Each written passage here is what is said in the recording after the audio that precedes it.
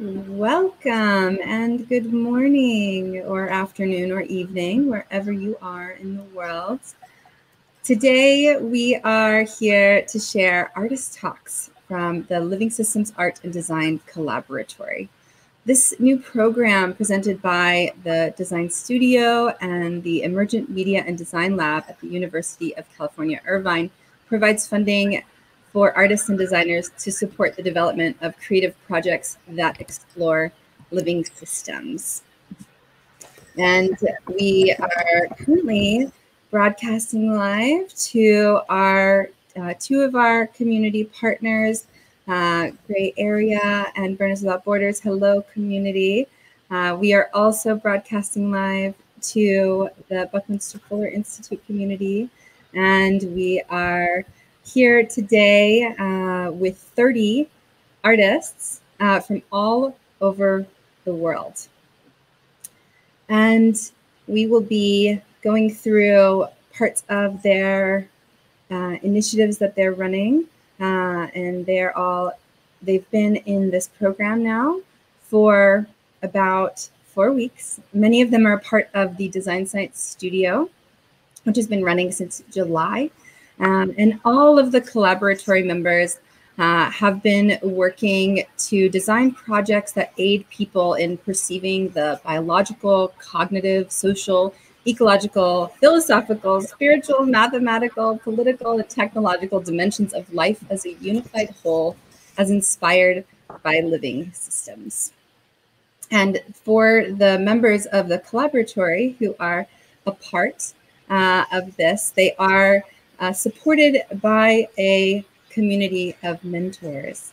And these mentors uh, are coming from many parts of their the world and they have incredible skills and so we're so honored to have such an incredible team uh, supporting this initiative uh, the design science studio uh, which is the studio that many of the collaboratory members are a part of uh, is a program of the Buckminster Fuller Institute and habRitual.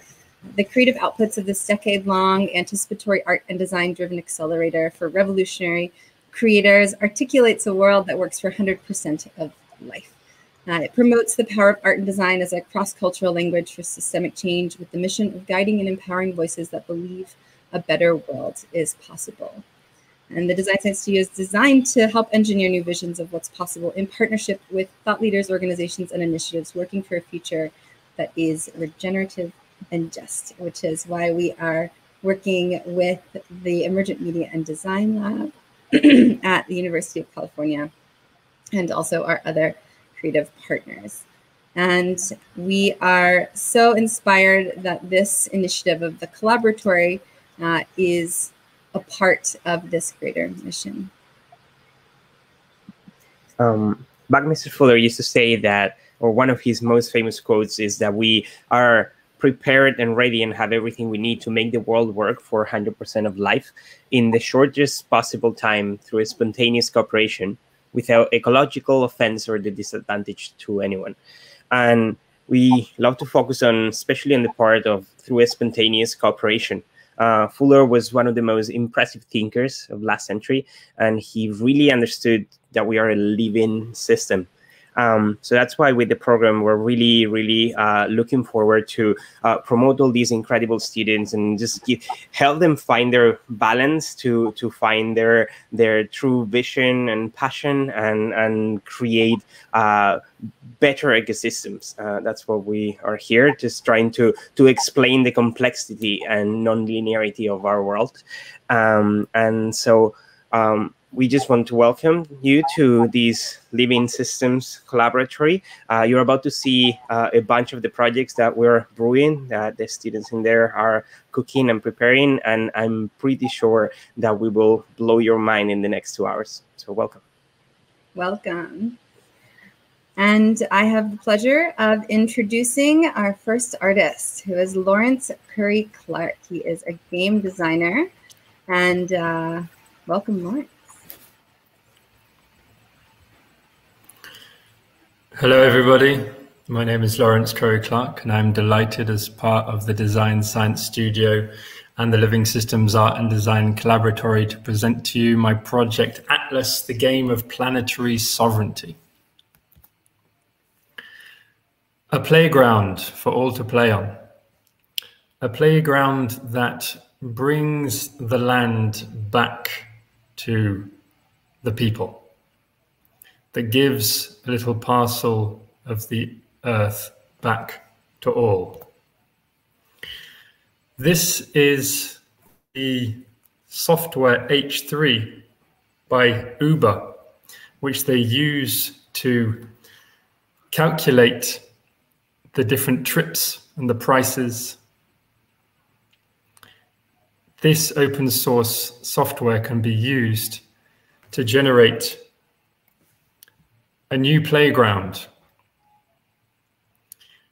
As you can see on the left hand side, in this small hexagon, we have, for example, Fell Street, where I might live. This hexagon becomes my local playground, in which it is my responsibility to take care of this little parcel of the earth.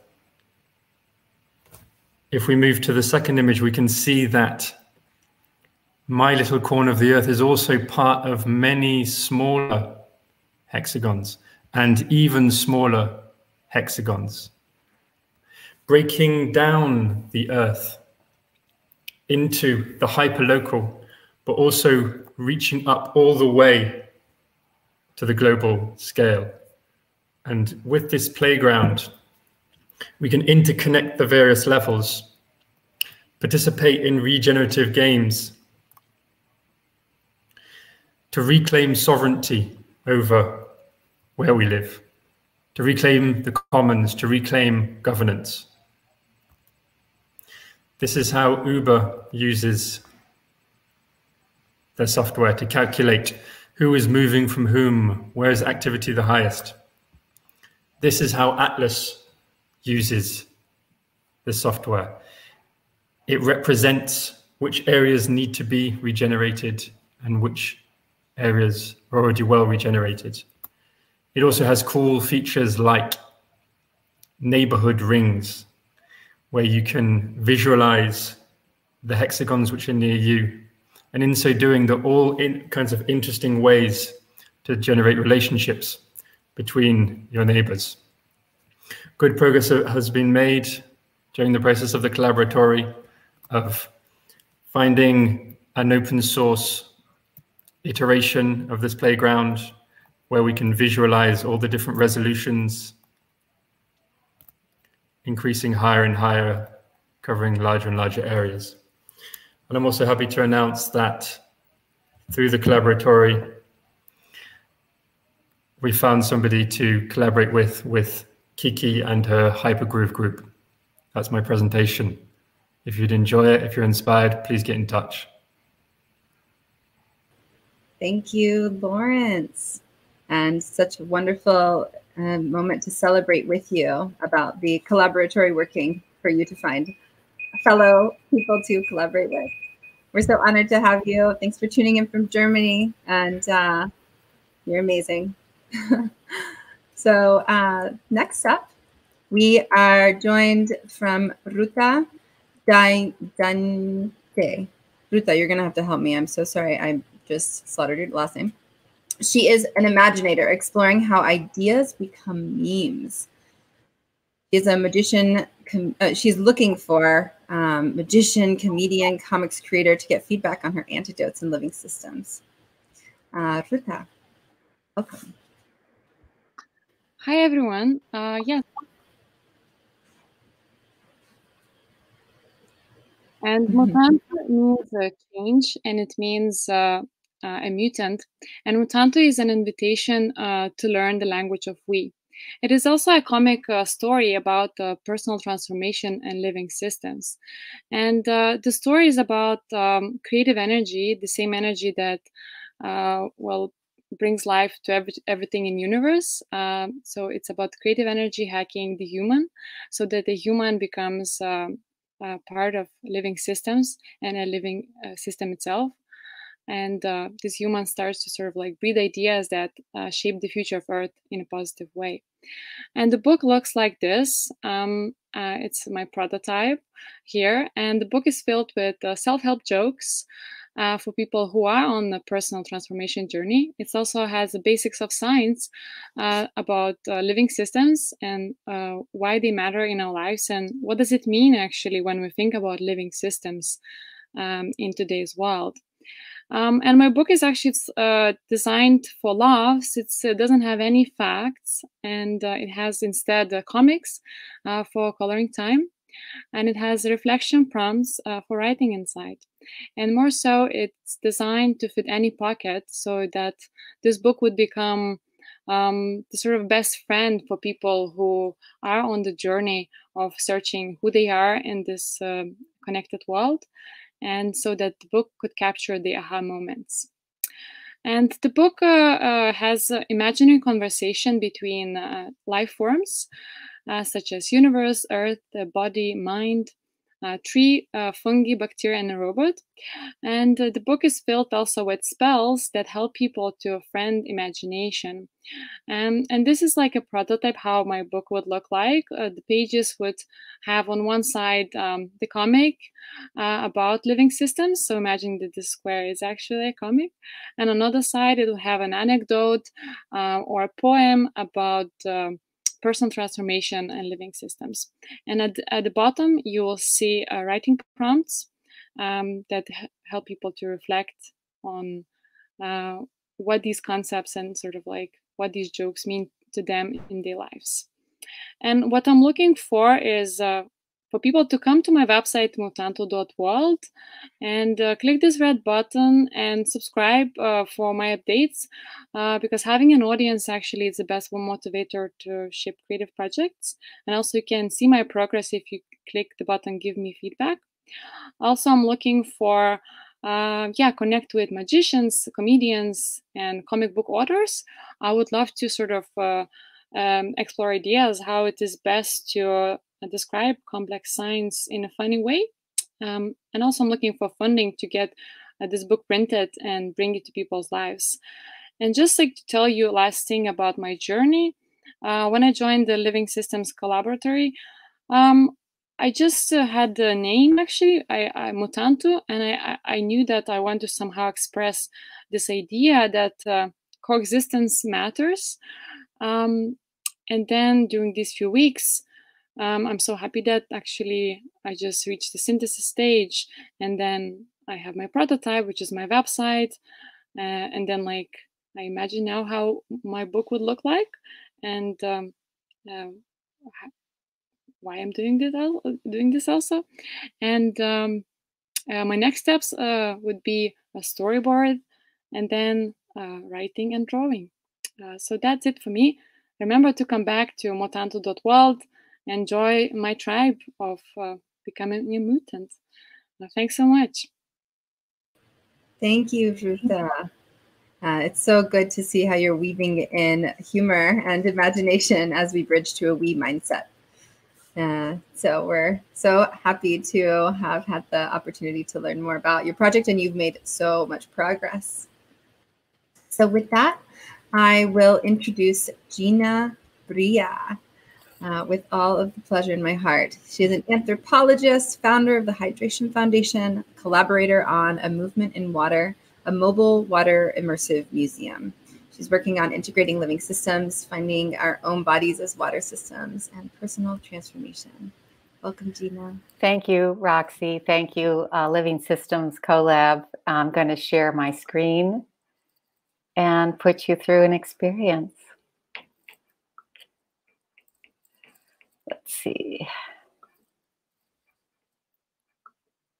Gina, you unshared your screen by mistake. Would you please reshare your screen? Okay, let me try. Let's see.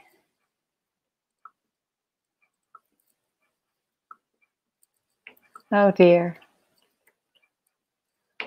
I found I think I found it. All right. How's that? That's perfect. Here it comes. Get ready.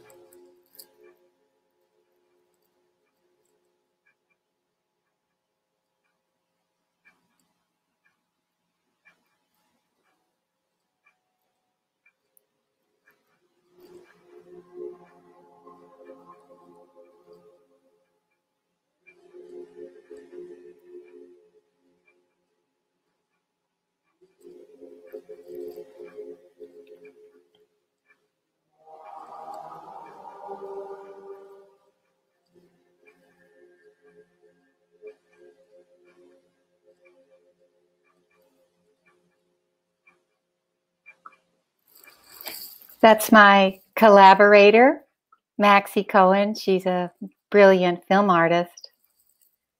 And a movement in water, this project is a mobile water museum planned to pop up in cities and exhibition spaces around the world. It's a sort of mobile cathedral of water. Let me share some newly uncovered discoveries about water. Water molecules are the fastest information transfer system now known, far faster than silicon. Indeed, the next generation of quantum computing will be modeled on water molecules. We are stunned by what's being uncovered about water molecules. Indeed, water is the most extensive living system, touching all other living systems the mother of life. Humans, by molecular count, are 99% water because the water molecule is so small by volume. So we are, by water molecular count, 99% water. We are living water beings. We are already capable of quantum computing. And with the movement in water, we intend to create a space for new understandings of ourselves as walking water beings and to let water lead us to find new capacities in ourselves to be fully water, fully water beings, to discover capacities about ourselves we didn't know we possessed, and to be fully capable of making our new fully living systems future. So we express the desire to, through spontaneous collaboration with you, create and fund this movement in water, water computer, water cathedral, living water system to enter into. Follow us at a movement in movementinwater.com. Thank you, Roxy. Thank you, Design Studio. Thank you for being spontaneous collaborators. Thank you, Dina, for your passion and your dedication to this planet and to this mother element. We're so honored to be on this journey together. Yeah. Next up, I have the pleasure of introducing Akiko Ogawa, an artist and design technologist who works with biomimicry and the collective intelligence of bees and mycelium.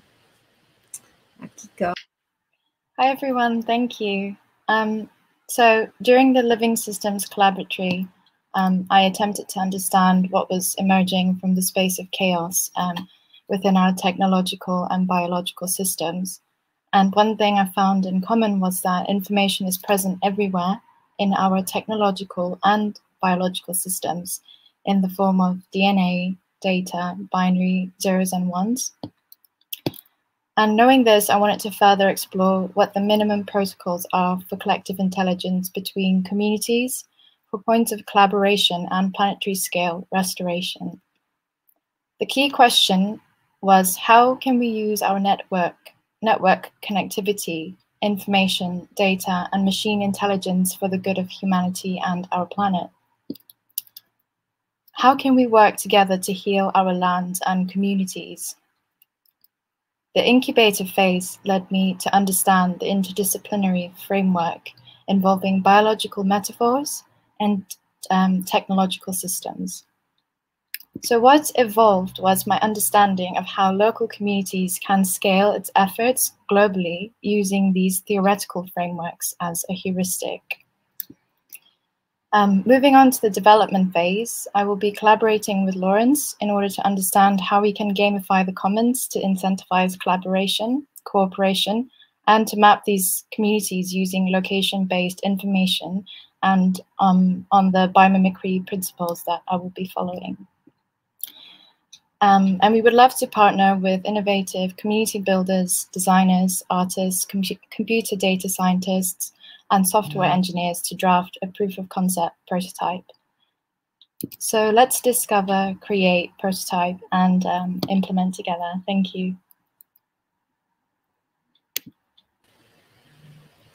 Thank you, Akiko.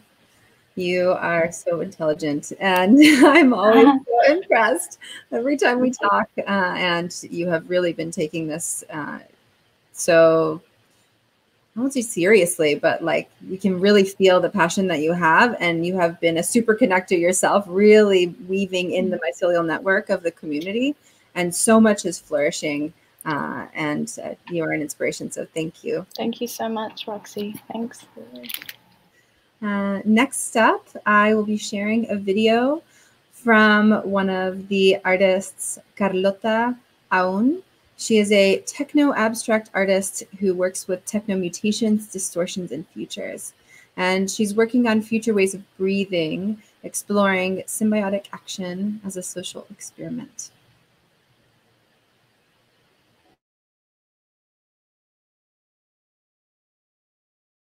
My name is Carlota. I am an artist who studies techno mutations, distortions, and speculative futures. My project is called Symbiotic Experiment for Future Ways of Breathing. It's a performance that uses the audience's virtual interaction to control the air supply of the artist that is on the other side of the screen. Together, we create a hybrid breath, a language that teaches us to breathe within digital interfaces. The artist will only be equipped with a gas mask and an oxygen supply. The audience will be prompted to breathe into the microphone of their devices, and their breath will be judged by an AI, and depending on its judgment, the system will let air out of the tank. The performance is subjected to the unpredictability of the audiences and the AI's decision making. It seeks to extrapolate a symbiotic living system from the organic function of breathing and the essential technologies that allow us to exist in the virtual dimension. The performance was first thought to happen in physical space. The trigger for oxygen release would have been the use of social media and selfie culture, but it was deemed unconvincing. And due to the pandemic, the performance was rethought as a live stream. The incubation period has allowed me to rethink the trigger, exploring a deeper relationship for this living system, a new language, truly hybrid and symbiotic based on breath. AI was also a big part of the change. It highlights the human biases behind digital tech, our flaws, and the power of ancestral intelligence. In the first month, I also consulted physicians and diving experts on danger, safety measures, and proper equipment. Right now, I'm working on the possibilities of AI implementation. And after facing some technical difficulties doing it on my computer, I understood that its best use resides in existing structures. I am thus reaching out to startups and universities interested in backing up projects that explore the idea of AI for good.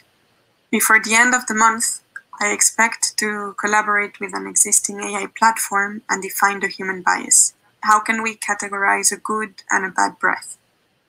In January, I will need to train the AI, teach the interface how to breathe, and teach myself how to breathe through the interface, create an interactive interface that triggers an analog reaction, and start a process archive to learn how to breathe within the technoscape. By the end of January, I expect to have a first functional prototype to be fine tuned in the following phase. Thank you for your support and for your time.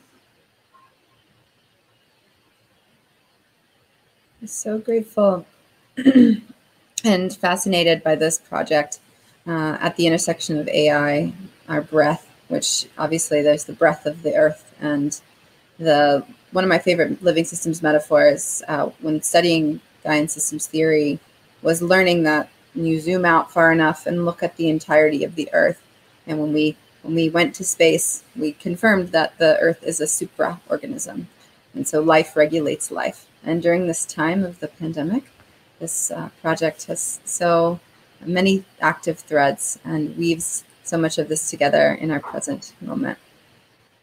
Thank you, Carlota.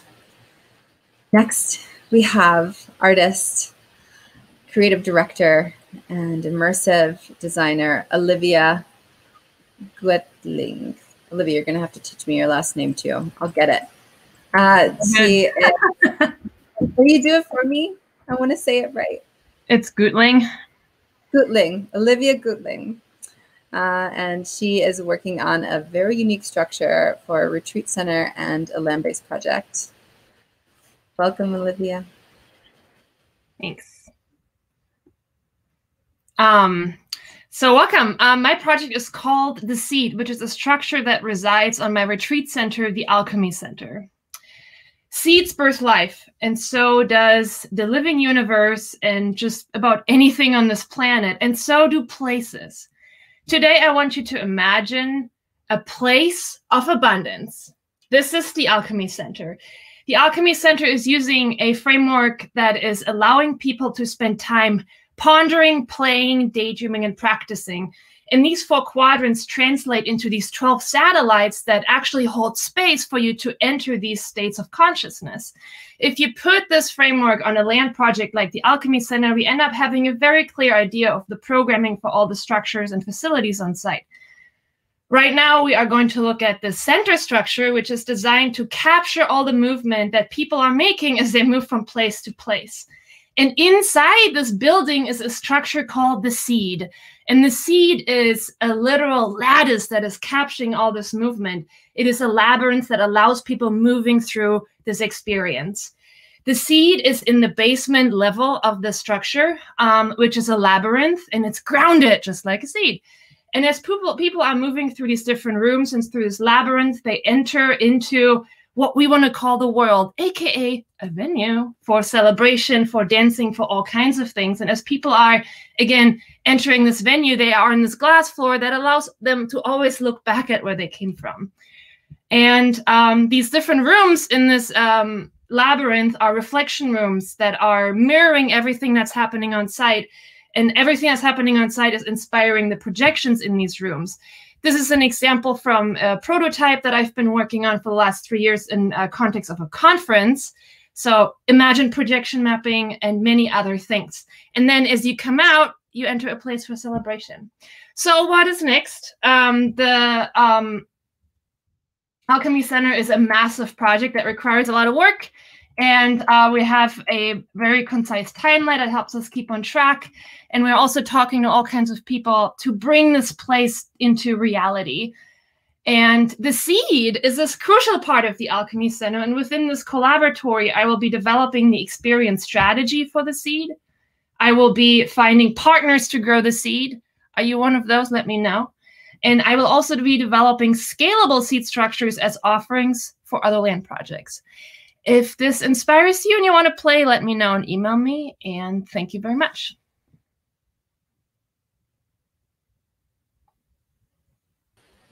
Thank you, Olivia, for creating structures that support so many creators and for all the progress that you've already made and woven with the entire community. This is a blueprint and an inspiration. And Thank it's you. to you. Wouldn't be possible without the community. Mm. Yeah, together we can. Yay. Yay! uh, next, I have the pleasure of introducing a pre-recorded video from one of our artists coming to us from Germany, Ilaria Forte. She is a regenerative futurist, cognitive scientist, and disruptive innovator. She's working on this project ER Plus, regenerating the unity of the mind body environment, applied systems philosophy using immersive technologies, interactive art experiences for catalyzing healing. Uh, it is good to know that this project is in motion with many private um, hospital institutions, and it is experimenting with how how does our living system help to heal our well-being. Deep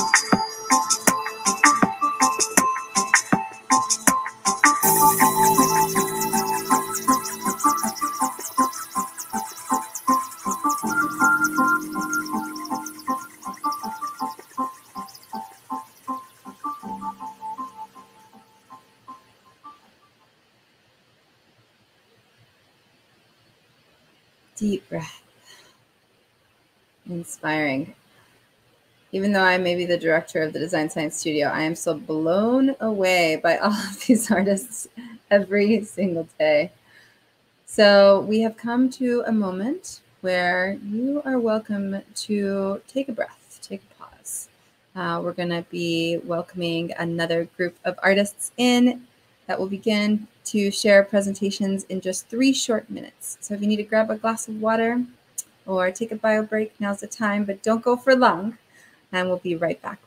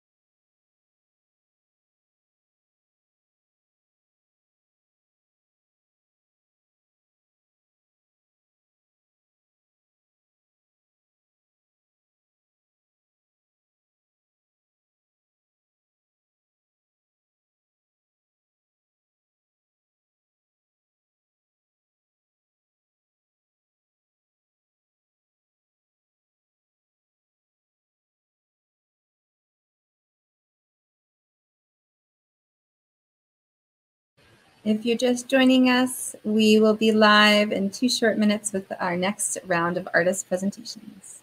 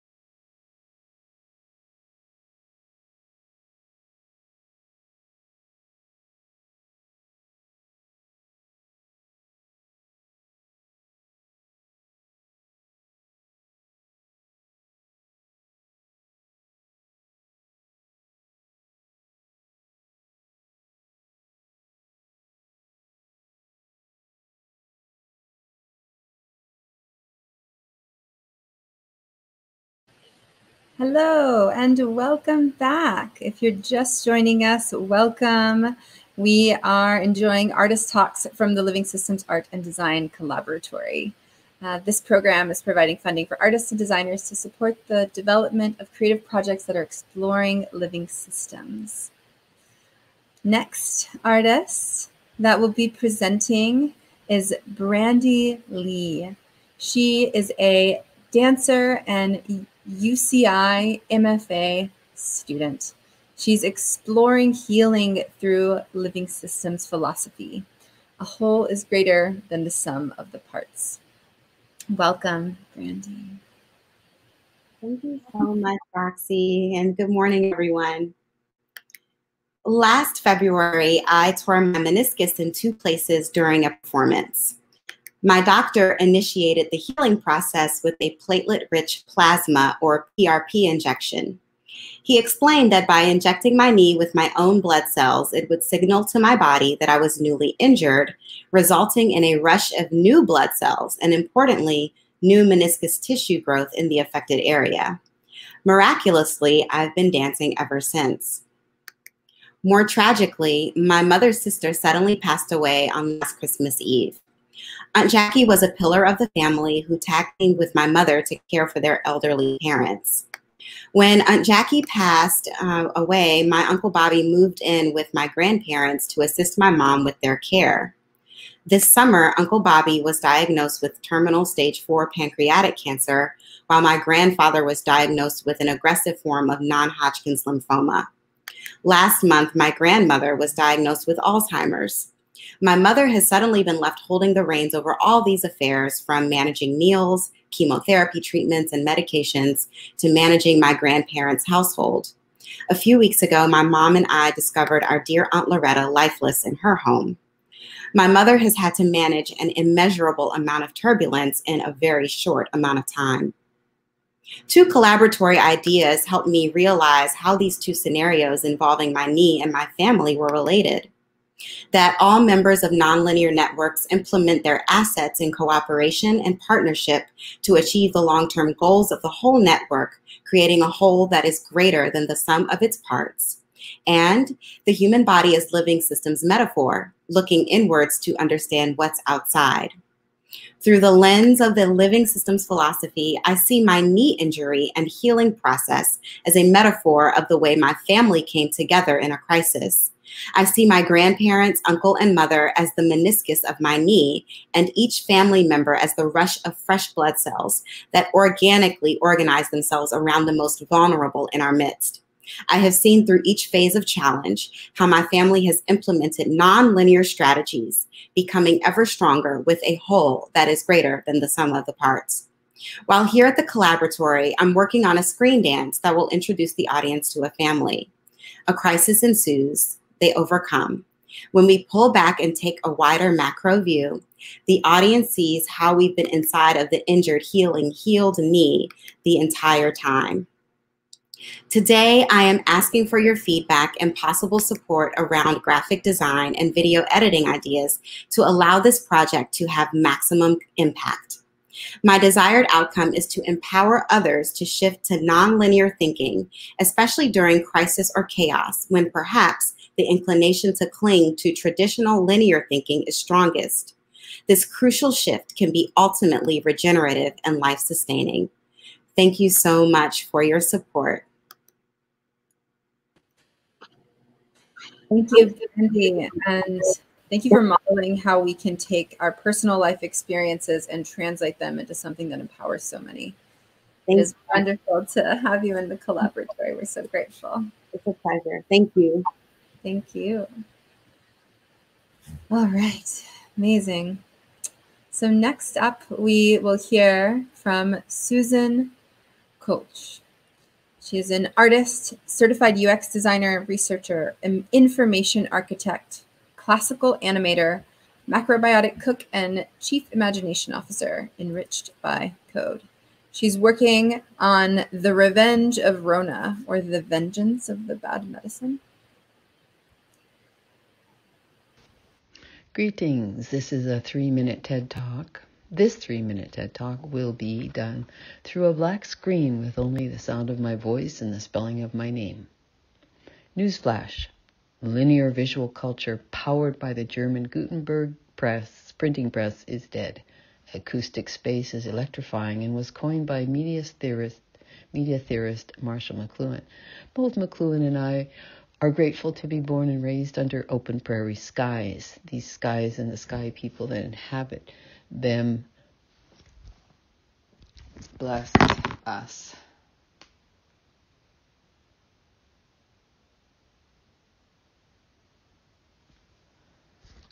With the artistic perception of time and space, significance and meaning, acoustic space evokes for me the sound of a beaded moccasin as it thuds down on the tall prairie grasses for a buffalo harvest in the Temple of the Sun. These are the lands of the sacred buffalo and the buffalo peoples. Long may they run. Acoustic space references the inner landscape. It pays homage to poets. So I will also call in the great dub poets and DJs of Jamaica in this overview. I spell my name using a dash between the two syllables.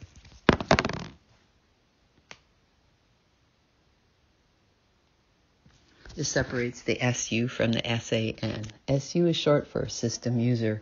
The word san is borrowed from the Japanese language and means to honor someone. In this spelling of my name, the system user is honored.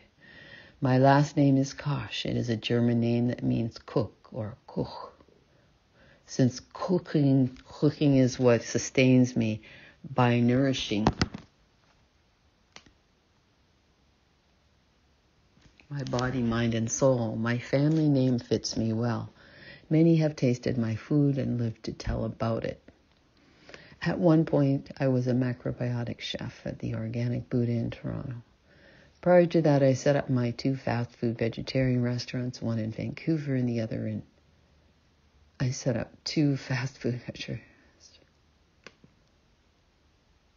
and the other in Toronto. Besides being a good macrobiotic cook, I'm an artist and information architect. My project for the Design Science Studio is Bucky's Mutual Aid Network, BMA, BMAN for short. This is like a Tinder for projects and communities, connecting them to individuals in a synergistic way. The BMAN project is about community and content. BMAN will include a market for cool things my cohorts might want to list, from scrappy pants to a 3D virus mask to a game called Kahado. This mutual aid network will be fully developed over the next decade in order to help the f- help flood in order to help flood the world with new ideas and concepts. Bucky's Miso Soup Kitchen is the conceptual heart of the mutual aid network because food is the staff of life. As fate would have it, Bucky had good friends who were Japanese. Kudos. It will be a mobile app, free, available for a fee from the BMAN site and from both Apple and Android store app stores. The mashup content created through characters that inhabit Bucky's Miso Soup Kitchen might just spin off into an animated film over the next five years.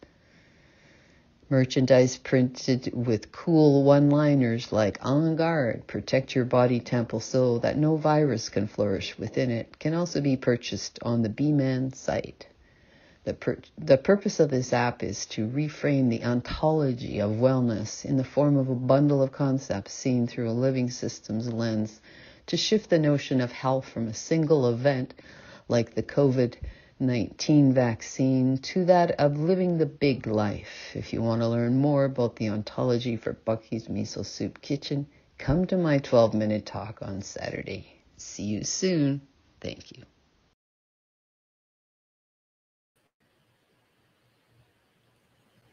So fun to have a presentation that's just audio in a time when we're so visual and inundated with more and more and more. Uh, it's so refreshing also to have another project uh, that is speaking on how health is the greatest wealth and helping us to reframe the ontology of wellness. Thank you, Susan. Next, we hear from Stephen Bao, a social architect who's reimagining our social architecture, learning what is the environment that we need to manifest our collective intelligence. Stephen has become a dear friend through the studio and is on a lifelong mission as an educator and a collaborator. And it is such an honor to be here with you today. Take it away, Stephen. Thank you, Roxy. So I'm Stephen Bao, a social architect, and I'm a founder of the Builders Collective. Where we're reimagining our social architecture and exploring how we imagine, design, and build the future together. So with a little psychological priming, I want to tell you a story about the genesis of living systems on this planet in terms of design iterations. So the first design iteration came about uh, through a three-day process or a, a three-stage design process that ended off with vegetative life. The next iteration produced sentient life. The next iteration produced a nation. The next iteration was a world building process. And now we find ourselves in a world where we're experiencing multiple systemic crises at the same time biological, personal, social, economic, political, and ecological. Well, 100 years ago, the same thing happened, and the Bauhaus came together, gathering artists and scientists and architects from around the world to reimagine what the modern world could look like. And we're living in that world now. But we're back in the same place where we are experiencing all of these systemic crises at the same time again. So, what if we could reframe our stories in terms of how we've been building living system or physical ar artifacts, but we're evolving towards um, imagining what our living systems could look like. So we create change by transcending the helplessness of the individual by embracing the power of the collective, a creative, collaborative, self-organizing learning community.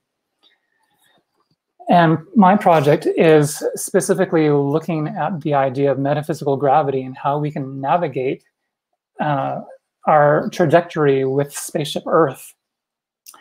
Because we are molecules, cells, uh, the living cities and systems of our social systems uh, rotating around a planet that is circling a galaxy. And we are part of a holobiont, a network that is evolving over time from survivalistic to holistic ways of thinking. And we are becoming more aware of our motivations and how our connections to each other are so important for the existence of life on this planet. So, how do we understand human experience and how love is metaphysical gravity? So, I would invite you to be part of the story of love, overcoming the power of empire, and exploring how uh, we can be part of the, the new social architecture. Thank you.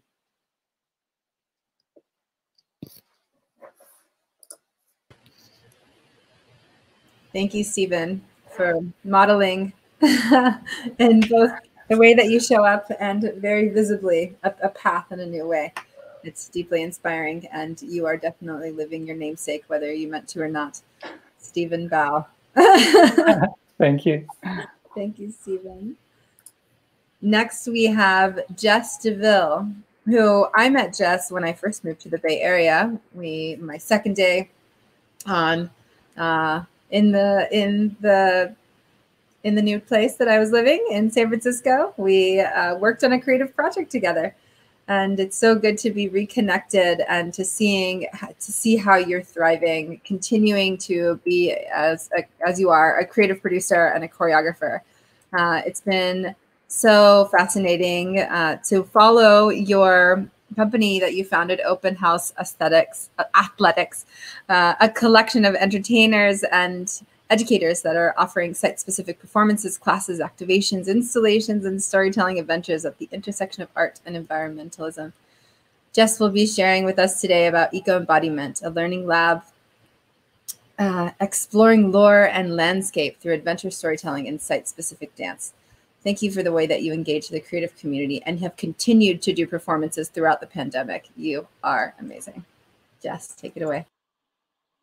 Thanks so much for having me, Roxy and uh, Design Science Studio. Um, so my project for the Living Systems Collaboratory is a hybrid outdoor and online curriculum for creative movers and critical thinkers, inviting participants to understand each outdoor venue's unique biocultural makeup, uh, excavate their own personal mythologies through adventure storytelling and site-specific dance. I'm hoping to work directly with STEAM schools, uh, senior homes, land projects, and event producers to build immersive educational experiences for all ages. So the experience works like this. We begin and end each storytelling adventure at the Tree of Life, exploring inner and outer landscapes to distinguish concepts of home, heritage, and identity. This is a little snapshot of us in action, photographed by beautiful friend and collaborator through Design Science Studio, Thais Aquino. Um, so my online platform will be used in COVID-friendly remote sessions, and they will incorporate 360 degree dance films, guided meditations, and exploratory missions that are themed around how our identities are formed and informed by both our natural environments and their associated mythologies. The live social distance field studies occur with dancers in remote locations to research and create the content that's necessary to drive the online platform and reinforce classroom lessons. I had the privilege of prototyping the experience in a subtropical rainforest alongside a diverse, curated group of dancers, which included a sociologist who is a hip hop and contemporary dancer, an African dancer who has a PhD in environmental engineering, and a traditional Indian folkloric dancer who doubles as a middle school educator. We spent a ton of time um, going through our transpersonal exercises and prompts, choreographic interventions, and improv games using the body as a metaphor to explore the history of an environment affecting our potential to change its future and what our non-human elders can teach us about designing our own personal mythologies. The process of mapping our relationship to the land is often called using choreography as cartography. And I'm interested in how we can use these practices to find our way, both literally and figuratively, as well as how we can share these understandings, traditional environmental knowledge, back with our greater community.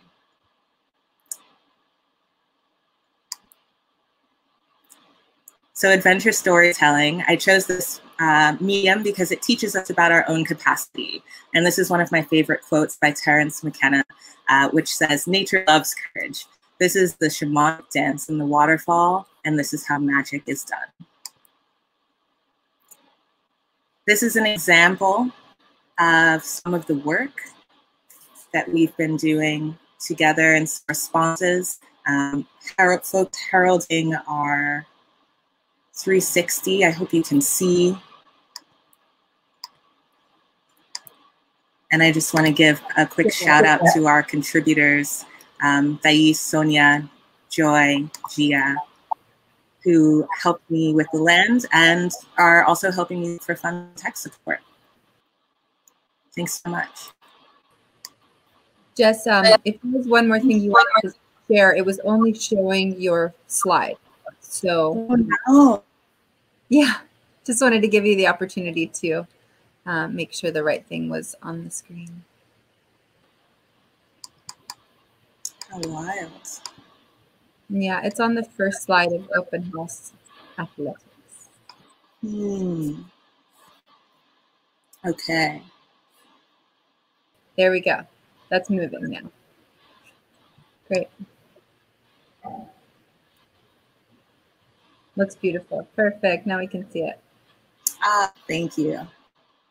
So I'll just kind of flip through these rather quickly, I guess.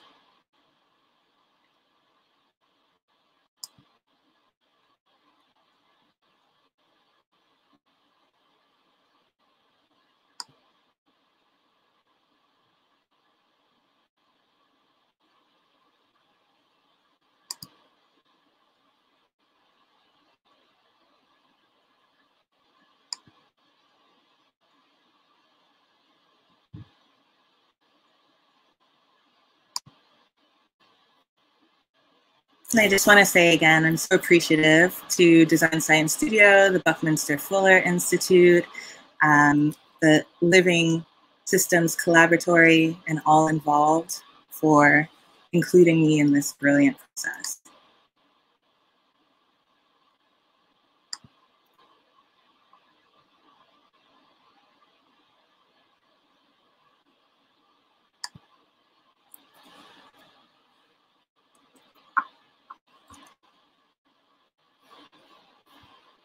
This last slide is how you can contact me.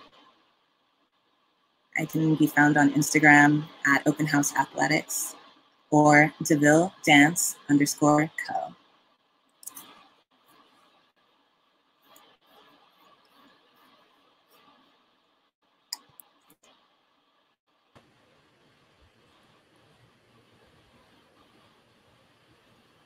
Thank you, Jess. I'm so glad we got to see those.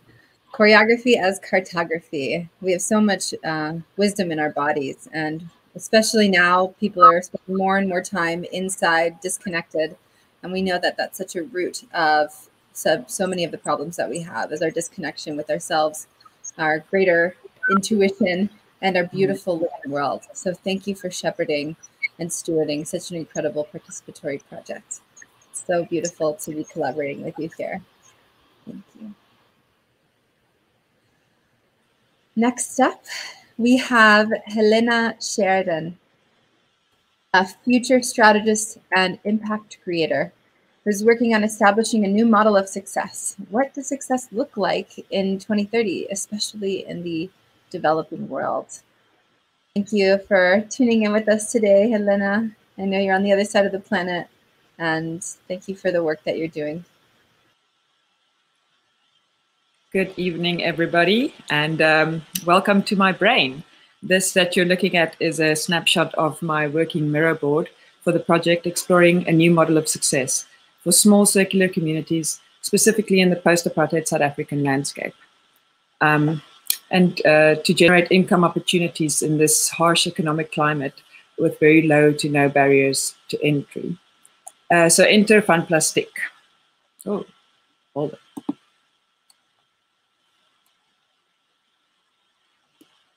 Fun Plastic. What is Fun Plastic?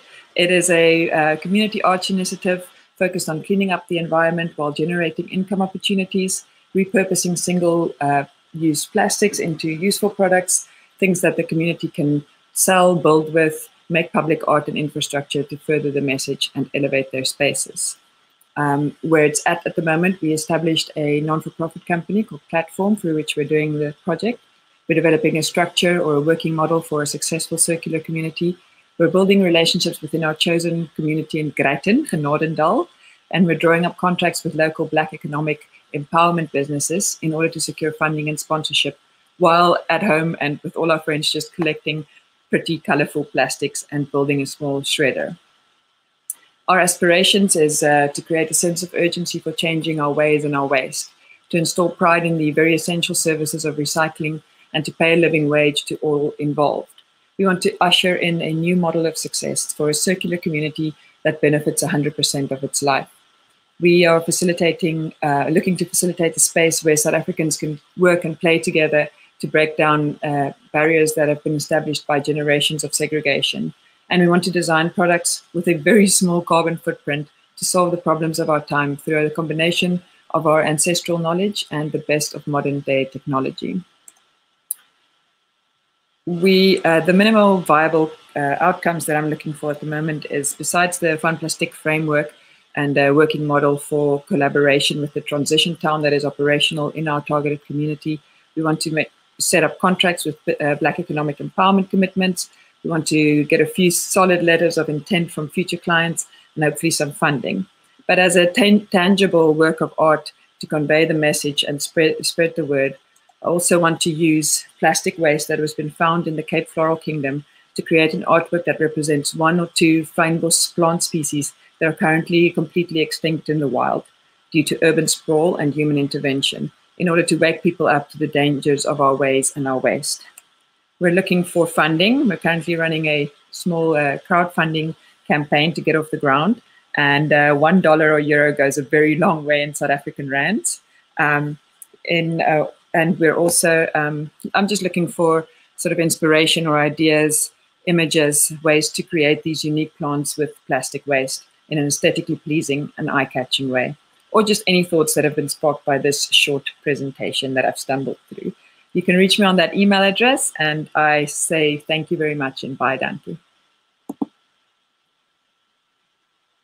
Thank you, Helena, for sparking so much in your communities, for paving the way for circular economies, and for making art that helps translate and embody these messages. It's an honor for us to have you with us, and we feel like we're a big global hug knowing that you're on the other side of the world in South Africa, paving the way for so many. Thank you. Thanks, Roxy. Next up, we have Ada Perez, futurist, strategist, artist, and storyteller, who will be introducing cyborg shamanism as a nonlinear system that explores what it means to be human, the power and impact of collective intelligence, and asks us what kind of ancestors do we want to be? Ada, I'm so grateful to have met you through this journey. I love you dearly and so happy to get to hear get to have so many hear from you today. Thank you. Thank you, Roxy. The feeling is mutual. Hello, everybody. Um, right, let's see if this works. So, um, as part of this course, systems philosopher Mansour Vakili asked the question, if we're an outcome of such an amazing process such as living conscious systems, then how are we not manifesting it? Maybe the answer lies in the question what kind of ancestor do you want to be? Cyborg shamanism is a non-linear systems framework that I've been working on for the last six years. It's developed to explore what it means to be human, the power and impact of collective intelligence, and the anatomy of transformation and our ability to solve complex problems. The ecological triptych is another systems pattern that I've recognized, is the myth that our linear thinking or the ego is what should be driving us. It's what links colonialism, capitalism, and therefore exponentially compounds um, our relationship and our dis-ease relationship and responsibility to the planet. It maintains that the myth of self-actualization is what we should be striving for. Therefore, for this project, I'm going to use my framework to create a virtual cave, one like the Kogi tribe used to train their mamos to attune to Aluna, the earth. During the incubation phase of this program, I've gone from a heady, complex, com complex idea, a weird and wonderful mind map, to creating the narrative and production plan for a five-part antidisciplinary multi-sensory ritual. The, the lectures and the, the sessions were great, but I had wonderful one-to-ones with John and Mansour, and what they said is to get into my body, make it simple, and so that's what I've done. And so this is now going to be an, a, this, a um, five-part antidisciplinary multi-sensory ritual, one that merges and em emerges ancient wisdom, natural systems, and indigenous community practices with digital and emerging technologies to move us from I human to we human to kinship with 100% of life. I've been working with my co-founder Marcus, um, and I've also been speaking to potential collaborators, world builder Tony Patrick, Paul D. Miller, and, and others. So I'm going to walk you through a few of the phases. Phase one is about leave, ether, from sensory deprivation leads to sensory isolation. So something similar to creating the Kogi caves, where you get to that point where all you hear is your heartbeat, your own breath. So before everything, there is nothing.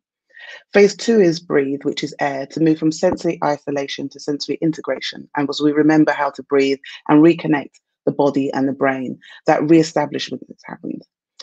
Th phase three is grow. This is about expanding our kinship to all of life.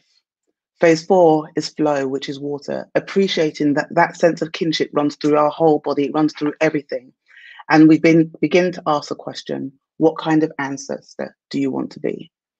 Phase five, the final one, is ground, the emergence from the cave. And as Buckminster Fuller says, I live on earth at present and I don't know what I am. I know that I'm not a category, I'm not a thing, a noun, I seem to be a verb, an evolutionary process, an integral function of the universe. And so what I want to do is my call to action is what I want to do is create this cave with five phases that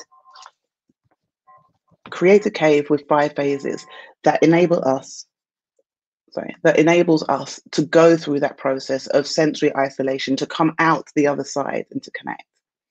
So what I'm looking for is I'm looking for artists, a multisensory performance artist who can help, who can help with sound, with breath, with dance, with water, and with food and taste. Uh, my next step is to create the production line and to actually start to Im- look for more technologies that can help put some of that together. If you want to get in touch, here are some details of how to find me, and I hope to hear from you. Thank you. Thank you, Ada. And alas, we shall be better ancestors, better future ancestors through this process. Thank you for sharing the story of your transformation uh, and how getting into your body and keeping it simple has created so much flourishing and blooming within you. Thank you. Thank you. Next, we have Chris Weir, an illustrator, musician, poet, and lucid dreamer. He's working, shifting from a scarcity mindset to one of abundance. Chris, it has been such an honor to see your project develop and flourish. We're so happy to have you. Welcome. Thank you so much, Roxy. Um, I'm very happy to be here today. Uh, it's actually my birthday, and this is a wonderful way to spend it. Um, thank you for having me with all these other amazing, amazing folks working on incredible projects. Um, so what I'm looking at is uh, developing a uh, tool that can help folks look at uh, what they have around them in order to create food and meals and recipes, um, as opposed to something that may lead you to um, look in your cupboards and you see that you have random, seemingly unconnected uh, pieces to puzzles you don't know the you know where to even start with um, to solve. Um, i'm hoping to help folks link those pieces together with guides um, through this app idea. So and i'm calling it recipe constellations as constellations can be something that uh, when looked at with a guide it can make sense of the incredible overwhelmingness of um, possibilities above us and around us.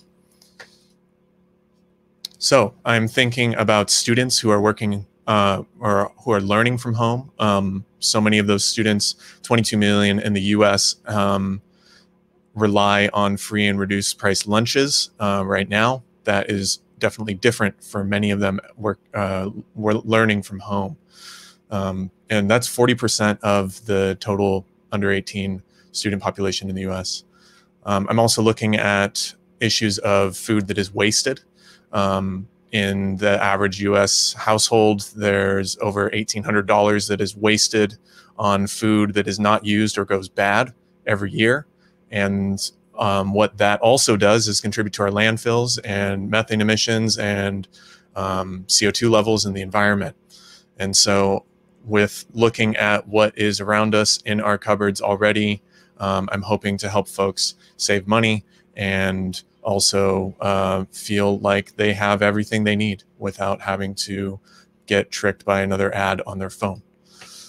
So this is um, a quick mock-up of a loading screen for it.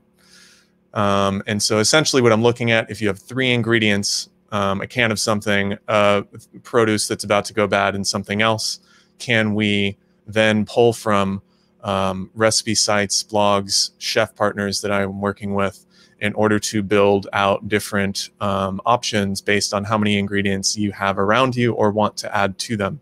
Whereas one might be a limited build with a few different recipe options. If you add one ingredient to that, there may be many, and so on and so forth. Um, again, this can help. I'm thinking of students learning from home. I'm thinking of communities living within food deserts or without easy access to um, many grocery stores and uh, food resources. And just myself and many folks I know who have looked in their pantry, and even though there is food there, I don't know what to do with it. And therefore, I feel like there is nothing to work with. And here are a couple more sketches that I'm working with.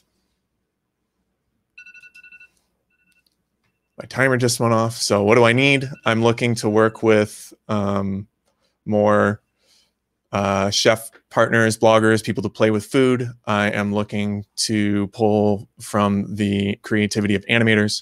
I, I, think it is necessary to be working with people who have cultural awareness and dedication to serving many different communities with many different backgrounds, interests, and resources. Um, obviously, I'm going to need some help from folks building out the application itself. And I need some folks to help look at algorithmic um, data uh, design and what we can pull from legally and not. Luckily, recipes are not uh, uh, copyrightable. So anyway, here is how to reach me. If you are interested in talking about any of that, um, I would love to hear from you. And here is a hilarious GIF that somehow I stumbled upon while making the last minute touches on this presentation last night um, with someone in food in space. Thank you so much uh, to the Design Science Studio. Thank you to UC Irvine and the Living Systems Collaboratory for having me. Thank you, Chris. That was such a great gift. Happy birthday. Thank you. Thank you for spending it with us. It's so wonderful to see the progress. This is the first time I've seen the sketches of the app. They're so beautiful and welcoming. Uh, they feel really uh, accessible to everyone, and it feels really inviting. So, thank you so much, Roxy. Thank you. Creating more equity in the world through a shift shift in our mindset. It's so important. All right, friends, we are coming to a break. Now, don't go away for too long because we'll be back in just a little bit. If you've just tuned in, uh, we are coming to you from the Living Systems Art and Design Collaboratory, where we are supporting a program of artists, funding them and supporting them to develop their creative projects that are exploring living systems. And we have heard now from 15 artists, and we will hear from another 15 artists on the backside of this break. So don't wander off for too long because we'll be right back at 41 minutes past the hour. Exactly. So we hope to see you shortly. Uh, thank you again to all of our partners on this mission. And we are also in deep gratitude to the mentorship of the entire collaboratory and the mentorship team. Without you, this would not be possible. So we hope that you have a good break and we will see you at 41 minutes past the hour.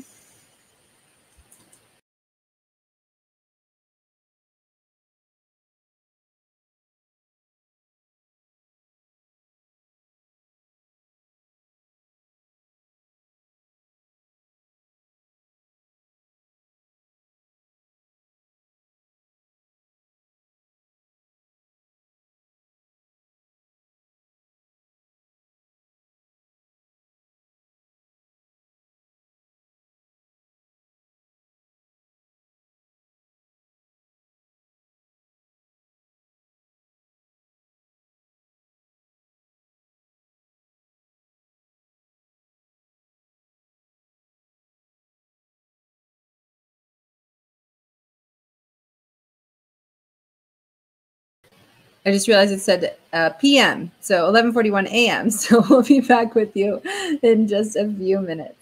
Thank you.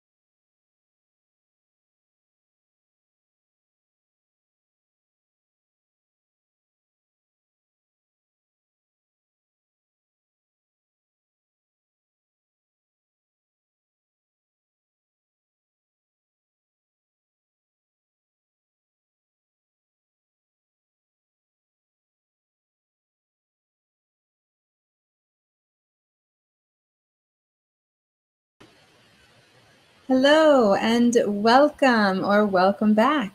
We hope that you have been tuning in. If you're just reaching us now, we hope that you are well and you are tuning in to Artist Talks from the Living Systems Art and Design Collaboratory, presented by the Design Science Studio at the Buckminster Fuller Institute in partnership with habRitual and the Emergent Media Design Lab at the University of California, Irvine. This program is providing funding, scaffolding, and support for artists and designers who are working to develop creative projects that are exploring living systems, moving us towards a unified whole. Next up in the docket, we have an amazing multidisciplinary artist. Her name is Stephanie Schwartz. Through the lens of wonder and building new models, she creates. And we are so happy to have you a part of the Design Science Studio, the collaboratory, and it has been such an honor to get to know you, your passion, and your care for this world. Thank you for creating and welcome. Thank you so much. Yeah, should be on my screen. Okay, just go to my screen, please. Here. Share screen. Hold on.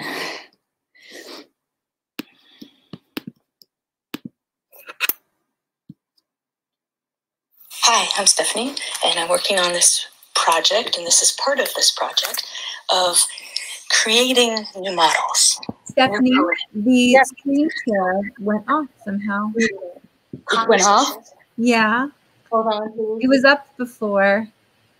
Can you, uh, So you, you might just want to push reshare.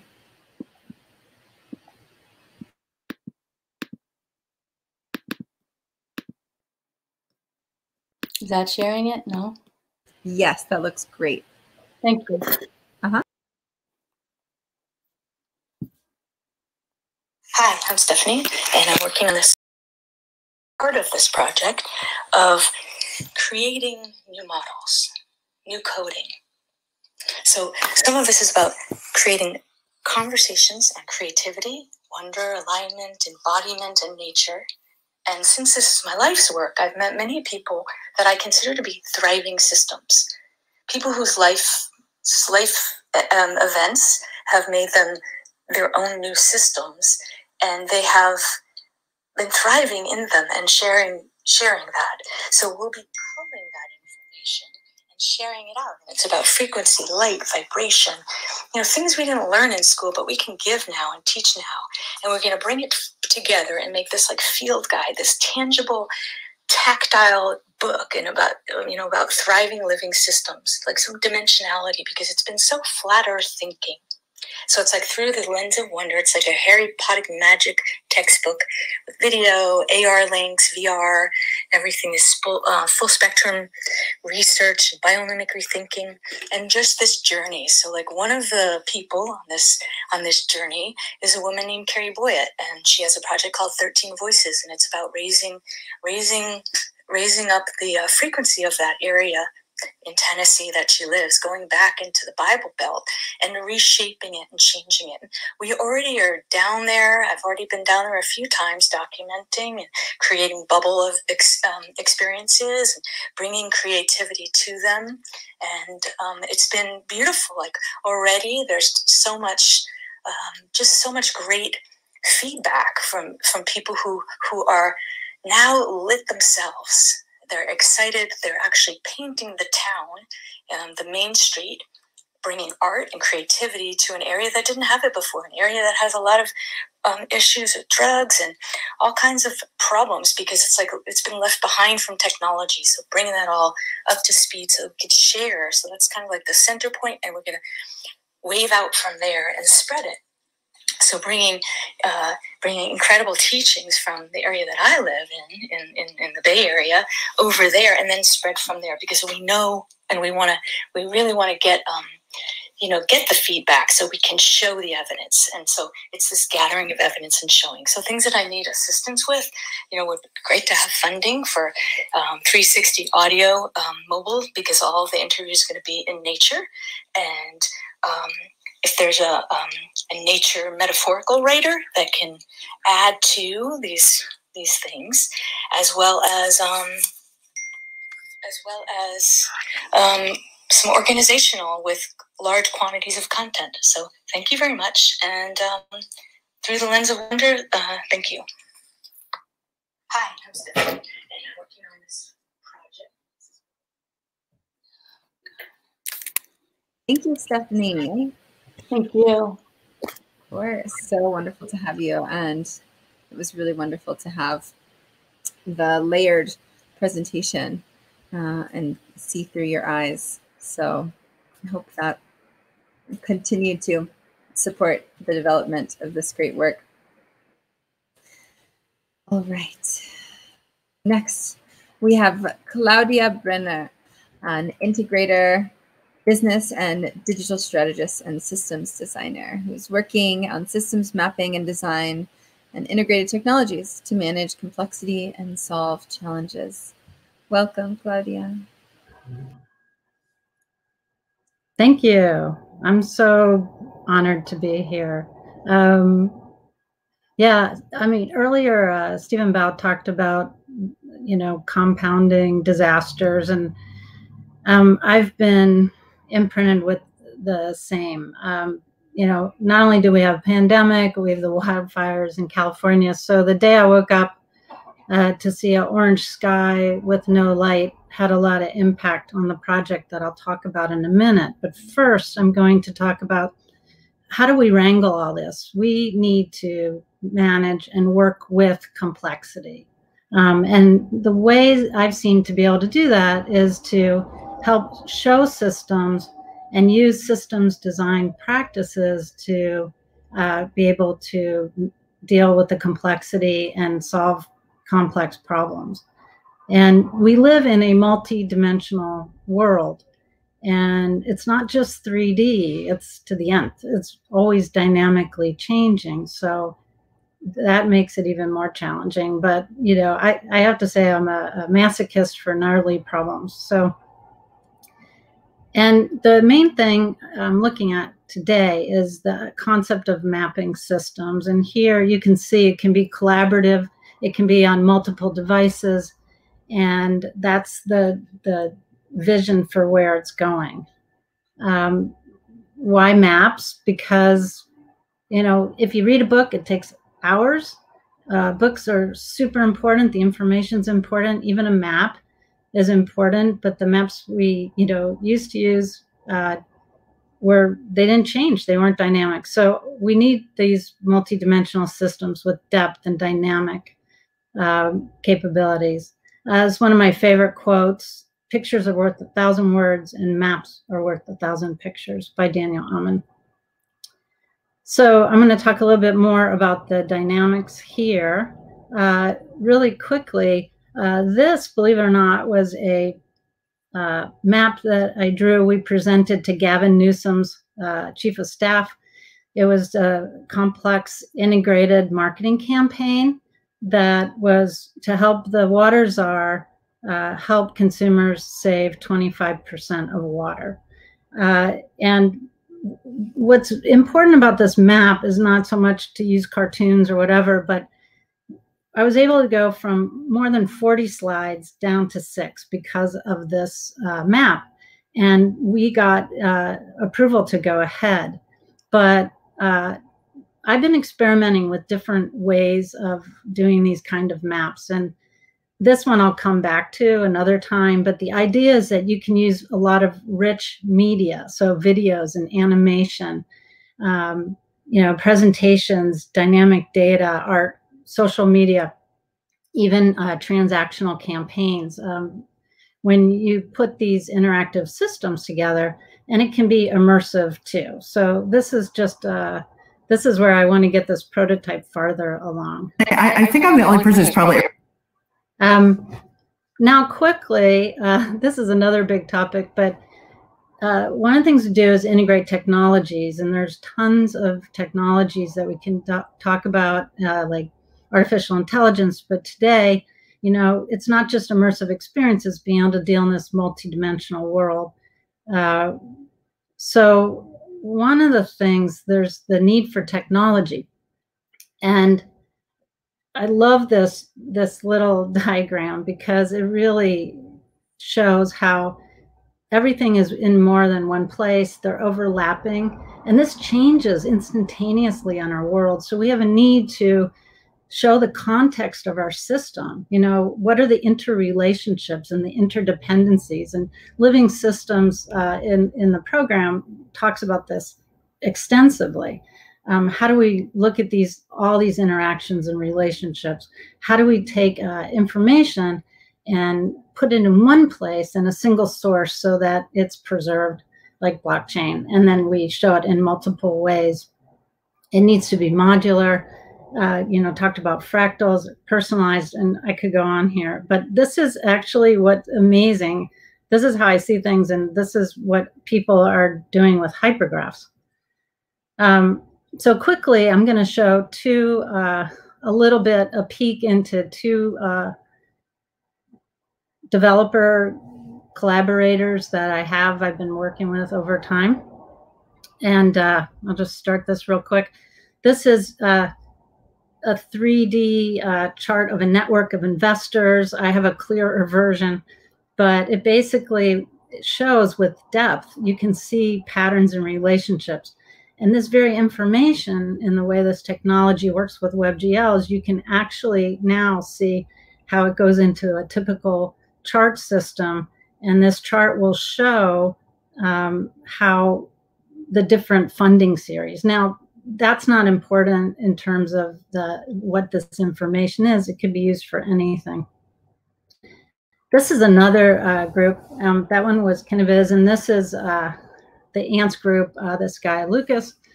Uh, and this basically shows, uh, you're going to see these green, um, green lines, and those are earthquake faults. And then you'll see these uh, squares, those are nuclear reactors. And basically, uh, I want to get this to be way more visually understandable, but this technology is super powerful. It runs like a game. It also runs in uh, data analytics, tons of data, and then also uh, you can put it in many dimensions. And one of the things important is that if you see these green pins, you'll see that some of the nuclear reactors are placed right where the faults are. So that could be potentially very dangerous. So how do we live with our Earth better? All right. Um, people say, what systems? You can do so many, but some of the ones I look at are cross industry, they're global. Uh, and we need to work with regenerative solutions, living systems. And, you know, disasters is one I'll talk about real quickly, but there are others that you can see right here. Um, oh my. So I better hurry up. Uh, initial goal is working prototype. And uh, we're looking at surviving wildfires, um, helping people know where to go. Is it safe? Do they need to evacuate? Um, and most people look at their survival and the preparation because that's the reactive mode. But how do we look in recovery and prevention? Some of the topics, uh, this could be a, an immersive environment to look at. Um, I'm looking at collecting data and talking with market research people. And in terms of help, I'm looking to have strategic discussions on how to expedite the MVP, to look at uh, a lot more people, advisors to work with, and some just remote UX video capabilities to do interviews, and even more collaboration on systems mapping. And it would be awesome to get money for the team. Thank you. Thank you so much, Claudia. And for not only talking about, but demonstrating some of these connective systems technologies, really showing the power of uh, what this project can do and the way that you've expanded beyond just mapping wildfires to really showing the potential of this to scale across many living systems and support is an inspiration. And I think we'll be able to really powerfully integrate across many initiatives. So thank you. Next, we have the pleasure of sharing a video from one of our artists, Carl Sanders, who is a movement designer, director, educator, filmmaker, and UCI Dance MFA graduate student. He's working with digital states of living through dialogues in motion. Hope that you enjoy.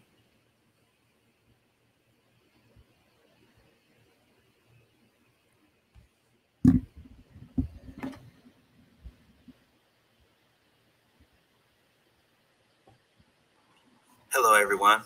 My name is Carl Sanders, and I'm a movement designer, director, and educator.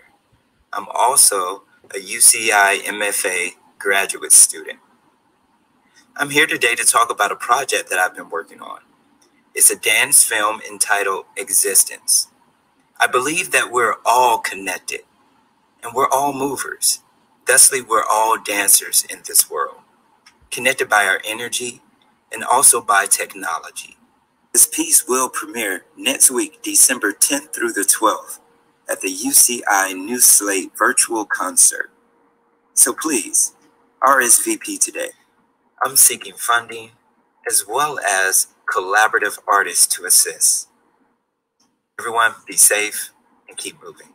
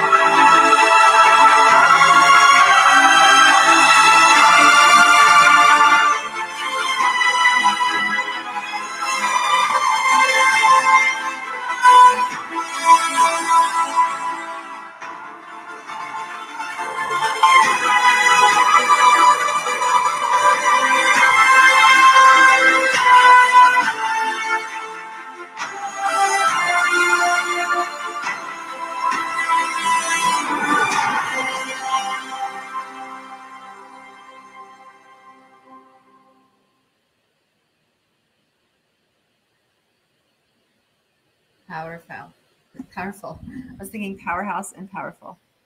That was so resonant. I am blown away by all of these incredible artists. And it is such a pleasure to be with you all here today. We hope that you can tune in to Carl's film and show up for the event next week. We'll share the link for you all in the chat. Next, we have a longtime friend of the Buckminster Fuller Institute and a Synergetics whiz, graphic designer, musician, and photographer working to bring Synergetics and the work of Bucky Fuller to a world audience through Synergetics education. It is such a pleasure to be here with you today and to have you as a part of the Design Science Studio. Thank you, Casey, for all that you do. Thank you, Roxy. Hello, everyone, and thank you for coming. My name is Casey House, and I'll be presenting a short introduction to a project that I've been working on called Synergetics University. The objectives of this project are to provide an in-depth exploration of synergetic geometry, the work of Buckminster Fuller, and design science, as well as to facilitate conversations and educational experiences, experiences that catalyze humanity's intelligent and considerate participation participation in Earth's ecosystems. The, university does this through four interaccommodating spheres that, off, that form a tetrahedron. These offerings are an online course, a textbook, a resource library, and art. And I'm currently working in development of the online course with the Living Systems Collaboratory, and that's what I'll be presenting on today. The online course of SynU is broken, broken into four quarters or weeks corresponding to the four faces of the tetrahedron. Each week of the course contains six modules for a total of 24 modules corresponding to the 24A modules of the tetrahedron. Here's an example of the curriculum, the 24 modules, and ideally the course would consist of a team of at least two educators that contribute to a well-rounded offering. This project this project exhibits a living the living system principles in that it's a self-organizing information network that evolves through feedback and interaction. As students go through the course, they share their experiences, resources, challenges, ideas, etc., so that the next round of students has access to the synergetic web of relationships that came before them. I recently came across a software that aids in this task of data connectivity and relationships called Roam. Roam is an online workspace for organizing and evaluating knowledge. The system is built as on a directed graph, which frees it from the constraints of the classic file tree. Users can remix and connect ideas in multiple overlapping hierarchies, which each with each unit of information becoming a node in the dynamic network. In this incubation, in this in this incubation stage, I've been working on exploring education platforms like Udemy, Skillshare, Teachable, and LearnDash, and have been creating a first draft of the course, which this is a little glimpse of.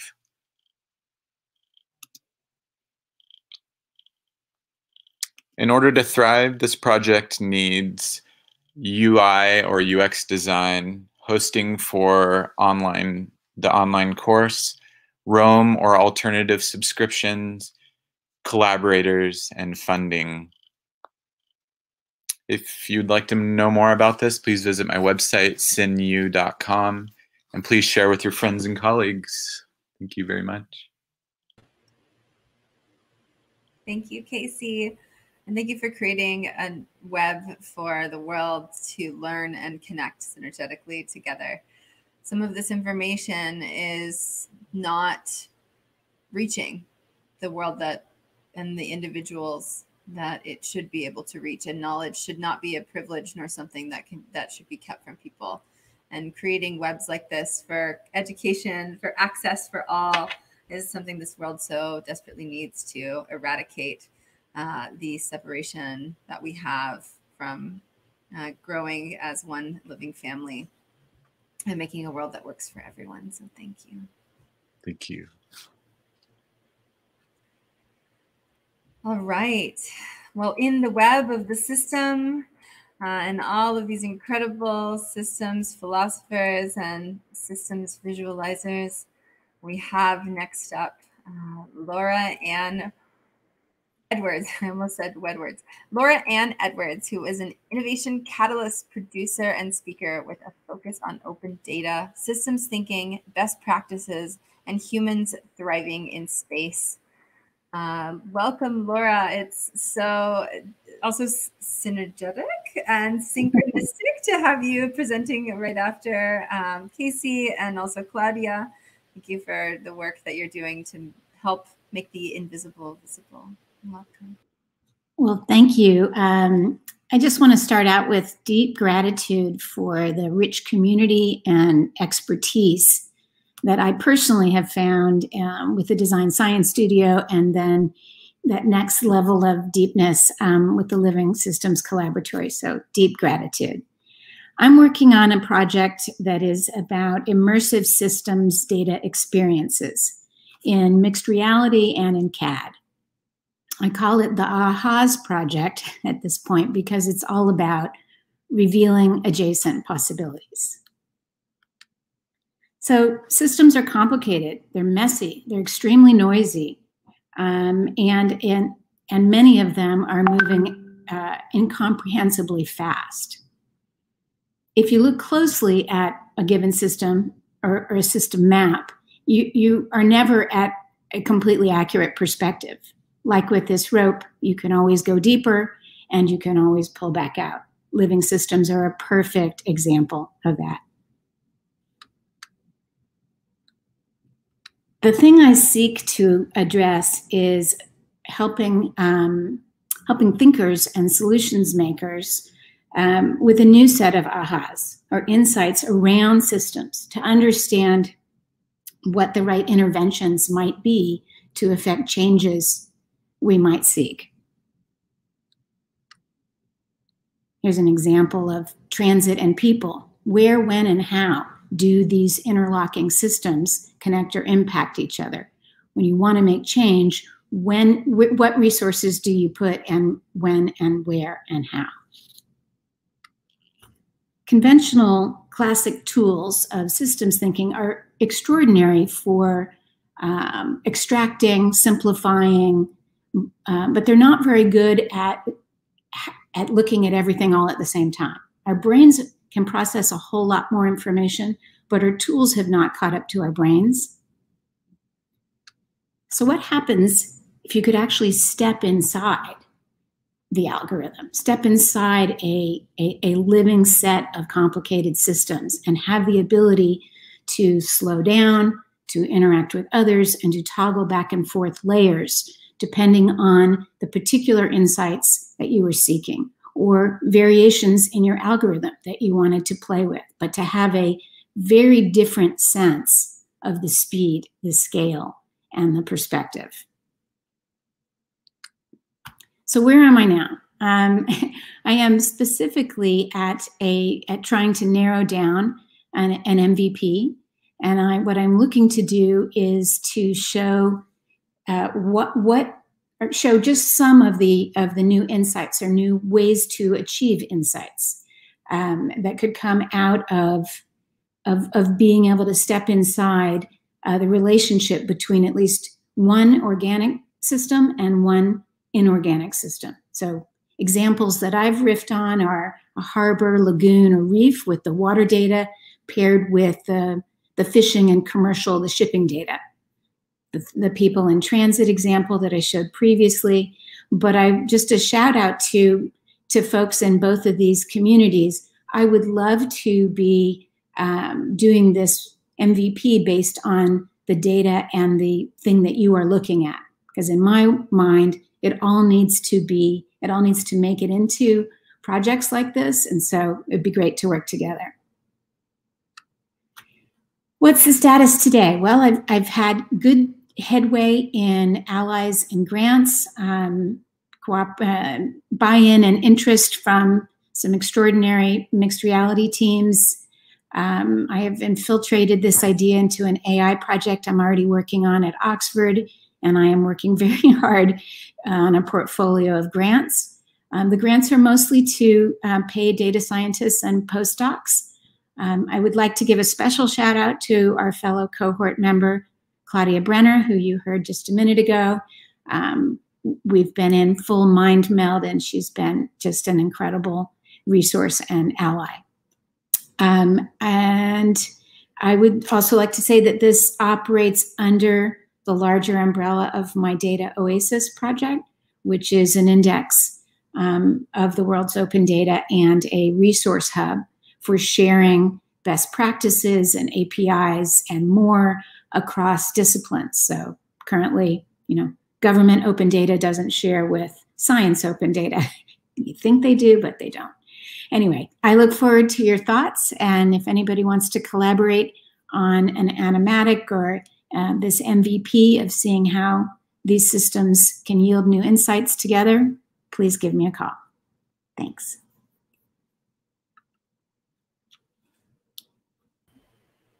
Thank you, Laura. Yeah. that was amazing. And I'm so glad to hear that you and Claudia are mind melding. What a perfect match. Thank, you.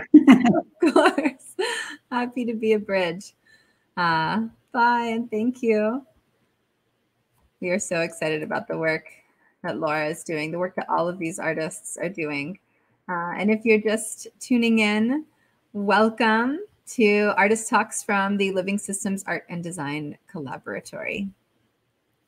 Next, we have Natalia Robinson, a longtime friend, uh, an artist, dancer, slow fashion and textile designer, and deconstructivist. It is our delight to have you with us today and always. Welcome. Hello, grateful to be here. Thank you.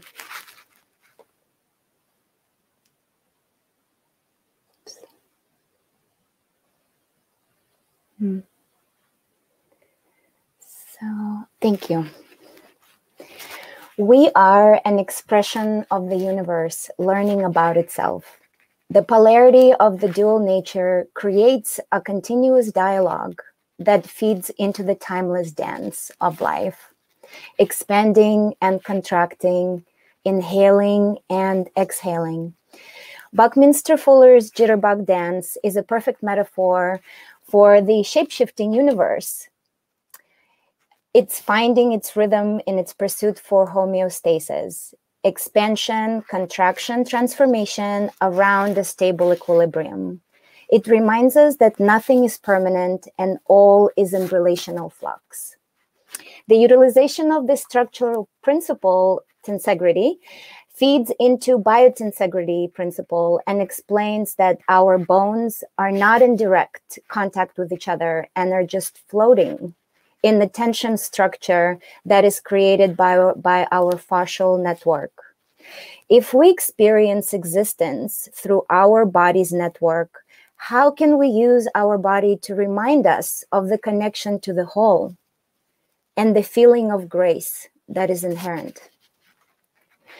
Zen practice is the study of the mind, embracing the uncomfort and impermanence of, um, of life.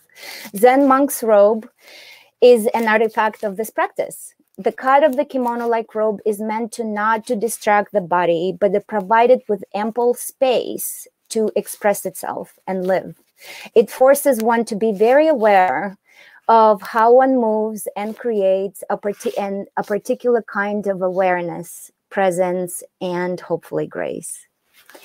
Fashion is a unique form of cultural heritage. It provides an index of not only the style, but social mores of the times. So how can I build in cues for the clothing to participate in this practice of mindfulness and awareness of being a part of a living system? The conceptualization will be described through a garment that is built to target post-production waste. It's going to be using the principle of the Buckminster's um, vector dance equilibrium, which is collapsing in and off in and out of itself and i will use this to modulate the sizing of the garment and also provide the experience for the wearer to be able to adapt to the mood shifting and have more of an intimate relationship with um, with their garment and and and things and consumption of clothes as well so this modulating application uh, is, is part of the garment transformation and also part of the somatic experience of moving in this garment. How, how can the loose fit of this garment inspire me to, to move through space? How the tightening and the collapsing of it will allow me to experience a sense of soothing um, and and a sense of um, relationship to to my surroundings. Um, so this project uh, has become with a with an experiment in mind uh, about using just the geometric synergetics of Buckminster's Fuller's work and creating a garment. And as it's unfolding to be realized kind of a, a, life story and how I am a living system and everything I do and my passions are all fitting into themselves. And I am preparing a dance performance to encapsulate the experience of the tensegrity principles. Um, a dance that's that's a gratitude to to the existence the dance that's the balancing between the left and the right um, moving from the internal structures of my body and i will stop with saying that uh, zen practices tell us talk about the that in order to hear the music of the universe we need to listen not with our ears but with our hearts and our whole chi body in this way we can really hear what is going on all around us and within us then our dance can really be a celebration of union with source that the ancients called Tao. I am very excited to explore the connections of all of these principles. And also, um, I'm finding this project to be sprouting in so many directions and becoming so rich. And I'm really excited to plug my project in, in collaboration with others and, and feed, in, feed in on this beauty of us being such an integral part of living systems. Thank you. Thank you, Tashka, for weaving our awareness in our bodies, in our fabric of our future, in with the fabric that we wear, and taking it a step further into an embodied dance that reminds us all that we are part of a nested whole. Mm-hmm. It's been so powerful to see you deeply pay attention to every thread as connected and that connecting back to the threads uh, that you weave for a future that works for all. So we're so grateful to be along this journey with you. And thank you for your artistry and for sharing with us today. Thank you so much. grateful to be here. All right. So we are going to transition to our last group of artists. And so while we shift over to the next group, uh, we will take a quick pause for about four minutes. So if you need to grab a sip of water um, or a quick bio break, now's a good time. And we will start back again at 23 past the hour. Thank you so much and see you shortly.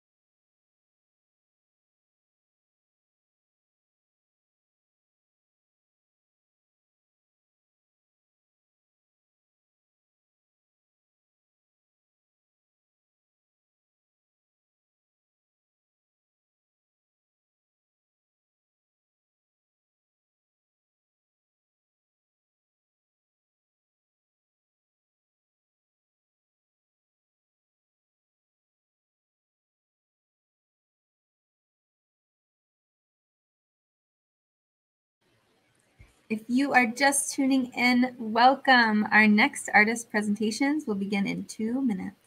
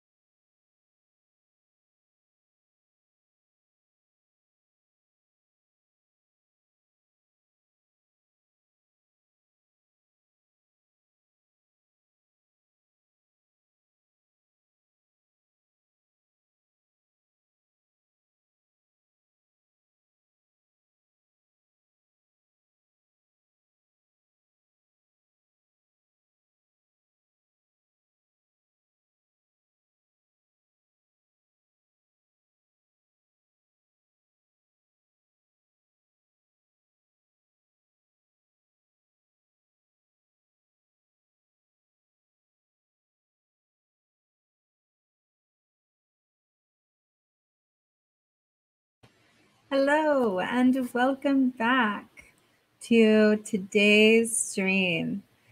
We are here in case you're just tuning in with artist talks from the Living Systems Art and Design Collaboratory. This collaboratory is presented by the Design Science Studio at the Buckminster Fuller Institute in partnership with habRitual and the Emergent Media Design Lab at the University of California, Irvine. This program provides funding, support, and scaffolding for artists and designers to support the development of their creative projects that are exploring living systems. We are in the end of the first phase, entering the next phase of the collaboratory. And all of these projects are working to support and aid people in the perceiving of our biological, cognitive, social, ecological, philosophical, spiritual, mathematical, political, and technological dimensions of life as a unified whole, as inspired by living systems. Next presenter that we have is actually going to be uh, a video from one of our artists who is Indigenous by heritage and is creating an amazing project called the Tender Heart Principle. Amber Bassett is a co creative strategist, artist, and regenerative economist, building regenerative culture hubs for the omni stewardship of economies, ecologies, and societies at the community scale. We hope that you enjoy.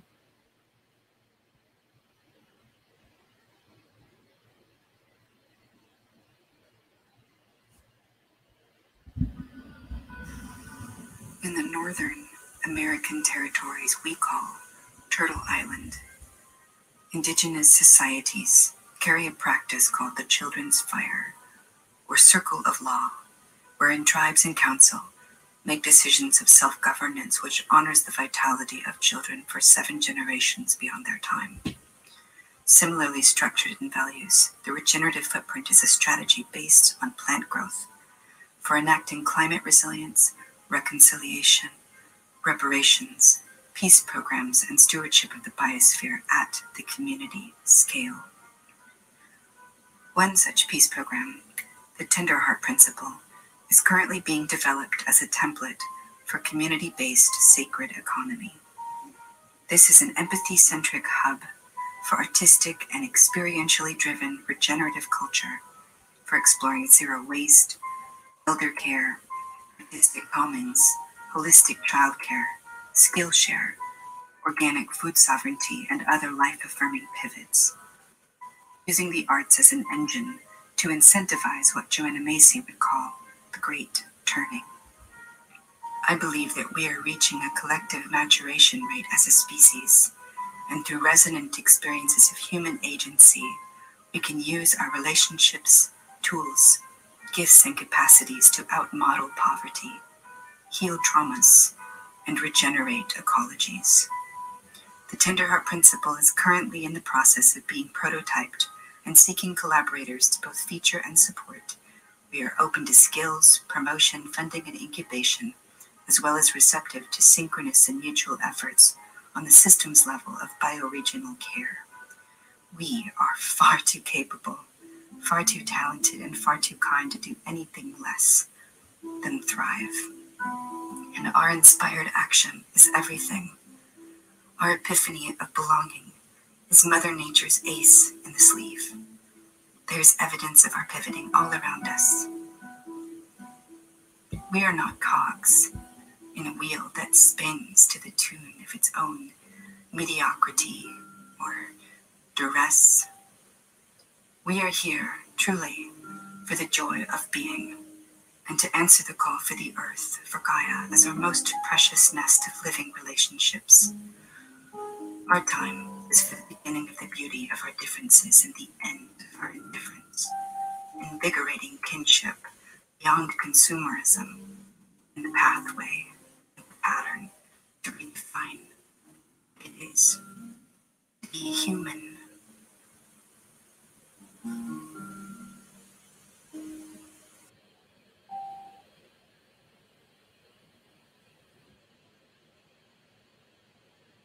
That one deserves a big, deep breath.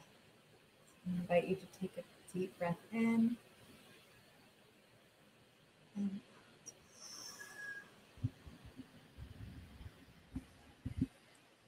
these visions of what is possible are not only a future that we are working to create, but one that we are creating.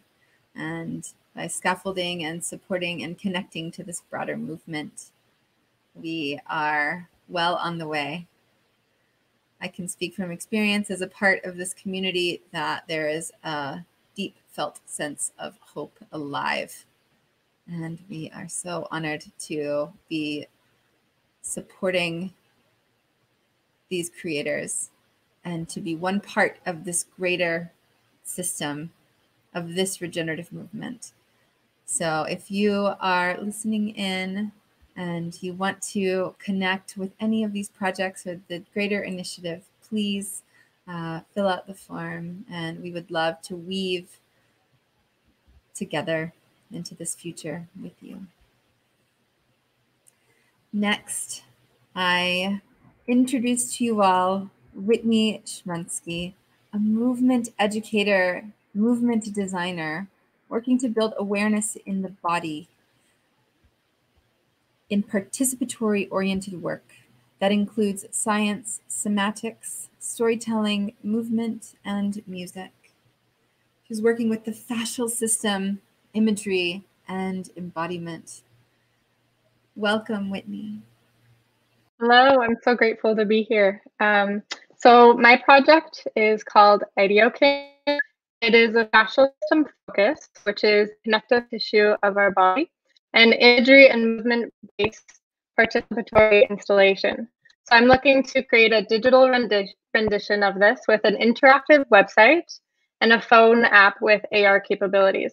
So this will show artistic and scientific images and motion of the fascial of the fascial system, with, and also guiding users with imagery, self-touch, and reflection on all of this. So this is all inspired by Fuller tensegrity model and how by now the body is more widely recognized as a biotensegrity model, both macro and in micro ways. And um, through looking at the body as a living system, I've been doing research in fascial system science, mental imagery, living systems, and ideokinesis. So ideokinesis was brought into the world by a kinesiologist named Mabel Todd in the 1930s. And she was looking at the idea of how our ideas, imageries, thoughts, connections affect our movement in a neuromuscular way. And I want to continue with this idea and uh, asking how can imagery and understanding and seeing different ways of how our internal living systems of our body kind of exist, how that um, shapes and creates our perception of our body and therefore our relationship to our environments. So I'm looking at the ideas of interoception and exteroception. So mindful practices, we all know, is the big buzz. Um, uh, meditation is getting a lot of scientific research. There's many meditation apps and like resources, but I want to look at this in a more body-centric way. How can we create a more embodied collective um, without prioritizing the mind all the time? Um, I'm highly influenced by my teacher, Irene Dowd. So in this image, you'll see a side view of the torso. And she, here you can see uh, how anatomical uh, images portrayed, and then also an artistic expression. So this is also shown in uh, the work of Eric Franklin, and he shows different ways of how imagery can be portrayed visually. And what I want to do is create a fascial living system in motion. So I want to create something that is 3D, like the image on the left, but more in um, an artistic rendition, um, like the image on the right here. And with the AR capability, so that we can see in space and kind of sense, um, have this interaction for a more embodied uh, understanding. I'm really highly influenced also by there's a recent uh, fascial research that just came out in August that shows the scientific conceptualization on actually how mental imagery affects can affect our uh, fascial tissue cellularly, physiologically, and psychologically. So most of the mental imagery research has been mostly focused on things such as muscles. So this is like a really new realm, and it's really exciting. So my call to action, I'm looking for thoughts, ideas, um, collaborators, um, support, and funding to create for me to create a proof of concept I'm clearly not a graphic artist. I'm a movement artist, so I do need help in that realm. Um, I do have the ideas though. I'm looking to use motion capture as kind of like a basis of all this and the imagery, and looking to create 3D, uh, more 3D illustrations, and an app that has the AR capability, and for UI and UX designers for interactive uh, website. So if any of this interests you, please um, reach out and I'm looking forward to hearing the other presentations.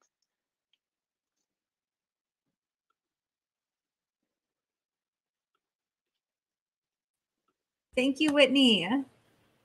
Oh, thank, Thank you. you. so much for leaning in and this, you know, the, the fascia of our bodies and how that's related to the fascia of this world. Uh, it is really incredibly important again that we are we tend to be so disembodied uh, as we're you know moving so quickly towards progress um, but yes. truly is one of those uh, beautiful living systems metaphors that everything is always in, in nested wholes. And uh, we are created to the system of our body. And as we refine and connect with ourselves we'll be able to be better future ancestors for others. So this work you're doing so important and so inspiring. And we're so happy to have you here as a collaborator uh, and excited to see this continue to flourish. Thank you. Thank you. So happy to be here.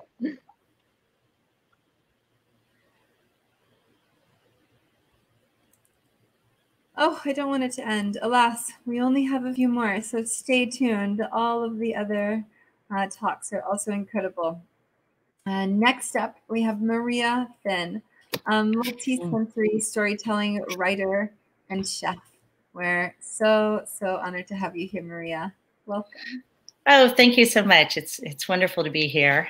And um, yeah, so my project with the Living Systems Collaboratory is uh, is an app that um, that it's augmented reality. It's not an app. It's actually an augmented reality project. So as you um, as you click onto an image, let's see why Hang on, give me one Okay. As you click onto an image, this is an illustration of an edible mushroom, a chanterelle, a porcini, a black trumpet. And these images, uh, the great thing about augmented reality is they can be anywhere. They can be in an abandoned storefront. They can be um, a postcard. They could be in an urban garden. But so people will see these and you can download a free app. It's um, Artivive. And if you hover it over the image, then basically, um, so if you hover your app over the image, then it will click an augmented reality, kind of a video experience, and the experience of being in the woods, uh, kind of a narrative prose poem of going to find this food. Um, one of the what my work often I, I encourage people to enter into the wild, enter into nature, and food as kind of this visceral, direct connection to it.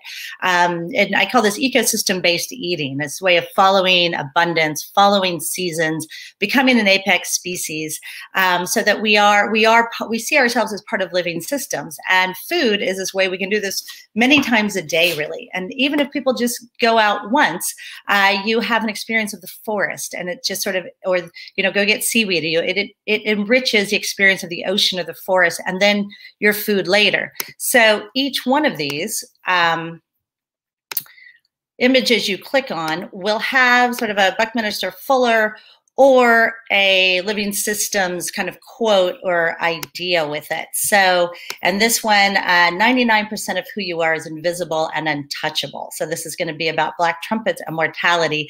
Um, so not only uh, is um, we we kind of we tend to die the way fungi die. We're actually much more similar to them than we are to plants. We in fact kind of co-evolve with fungus, and we share millions of years back um, sort of ancestry. And another thing we share is this quote: is this idea of invisible, unseeable.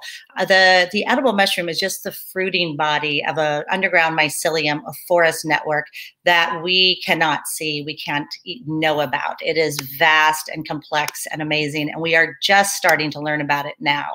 Um, so one thing scientists are realizing is that trees do not compete, but rather collaborate. And the forest is communicating through millions of tiny fungus on their root system.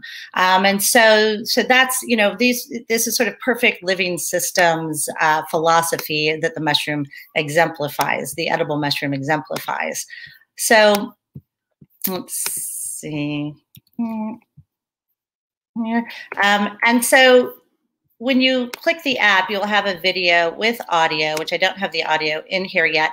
And there's been no rain yet, so we do not have many fungus in Northern California. This is sort of the the delight and the the the obstacles of ecosystem based eating is we have to go by wilderness. So when you click the photo, your illustration, you will go into sort of this video, this act of discovering, and the videos and the text will be different for each one.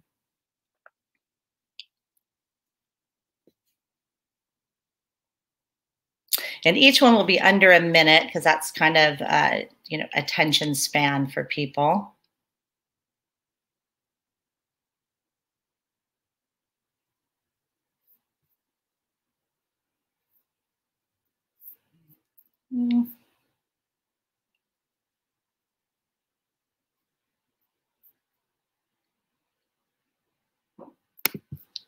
And so I kind of finish with this idea of food, of bringing things back to the plate. To me, the black trumpets taste like soil and certainty, and that'll sort of fill in with with the other narrative that's that's in there that makes sense.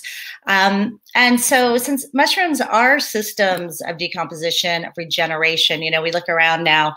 Uh, during COVID, we're going into our second lockdown for a month here in California. Um, we see a lot of storefronts are abandoned businesses, particularly the restaurant industry, food industry has been devastated. So I sort of am thinking about how can these images be put places that are kind of symbols of regeneration uh, throughout our cities, you know, as, as we're going to be entering kind of this new time, hopefully come springtime. And so, so my ask is I could use some tech help as far as, you know, putting everything together.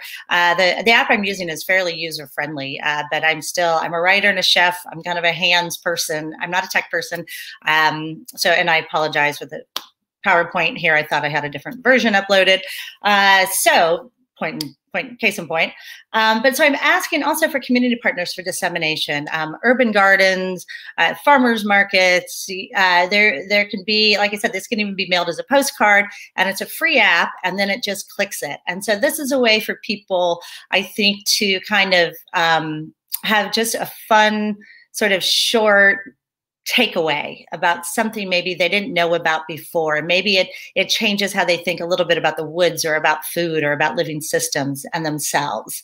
Um, so thank you so much and for having me today and for you know including me in this living systems collaboratory. It's been really amazing. So thank you roxy. Thank you maria. Uh, so fascinating the way that you're weaving uh, the different technical capabilities with connecting us to our living planet and uh, mycelial um, friends, the fruiting bodies of our mycelial friends. yes. Thank you so much, Maria. This is such an inspiring project, and uh, I look forward to working with you. Thank you so much, Roxy. Thank you. Next up, we have Alexa X Razma. Raz rhymes with the Wizard of Oz, in case you're wondering. So I was saying it wrong. It's Roz, like the Wizard of Oz. They are a transpersonal somatic psychology therapeutic spaceholder, psychedelic risk reduction leader, embodiment educator, retreat center community founder, and creativity doula. We have had a, a few really wonderful experiences over many years of friendship, playing and being embodied and experiencing so much healing and community. And it is such a delight to see the way that you are bringing that to so many more through your work. Welcome, Raz, and thank you. Oh, thank you. Uh, I'd just like to begin by inviting everyone to do whatever you need to do to become comfortable in your body, whether that's a little bit of shaking or bouncing. Uh, my project is all about embodiment. So please feel into the sense of what your body is calling for. Uh, as mentioned, uh, my academic background is in transpersonal somatic psychology. And I'm really grateful for this platform insofar as I'm able to combine that with my 15 years in extreme states of psychedelic space holding to bring that knowledge to the public. Um, essentially, when I considered my project, I was inquiring as to what keeps us from living as a living system, which is something that I call oneness or pursuing a oneness state. Um, and from my, you know, the disciplines I've studied, I kind of came to two main causes. The primary one, which is probably underdevelopment of uh, holistic sense awareness, especially of the body as a whole, which I call soma sense. And the second of which uh, is layers of trauma that are blocking or numbing access to this expanded sense state. So, my project, which is called Planetary Play Prompts, seeks to democratize the tools of therapy by distilling this heady, advanced psychological research and theory into accessible prompts.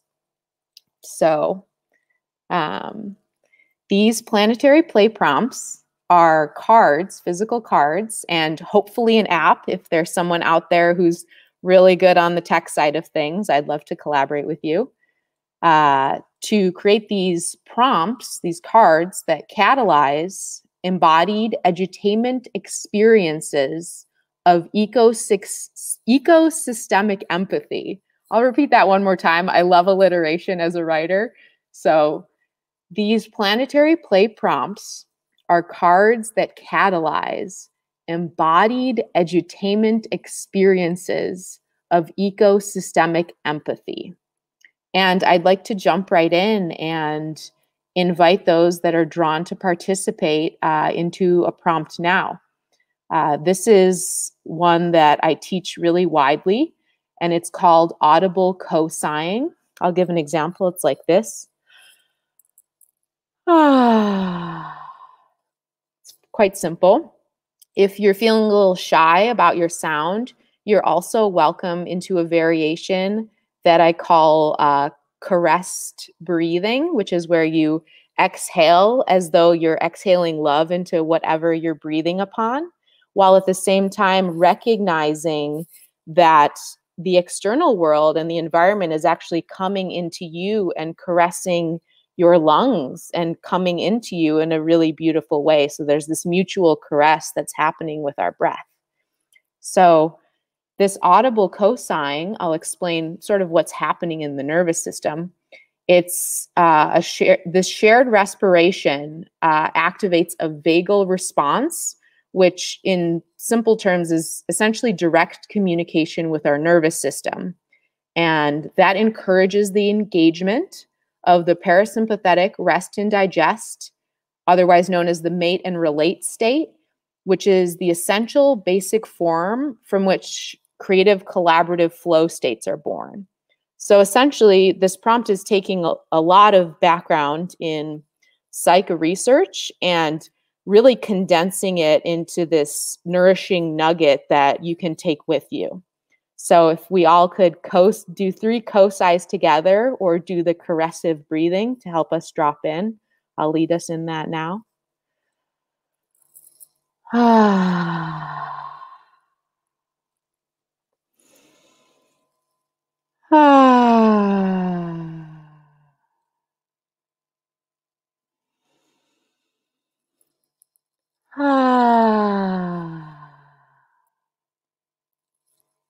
Thank you.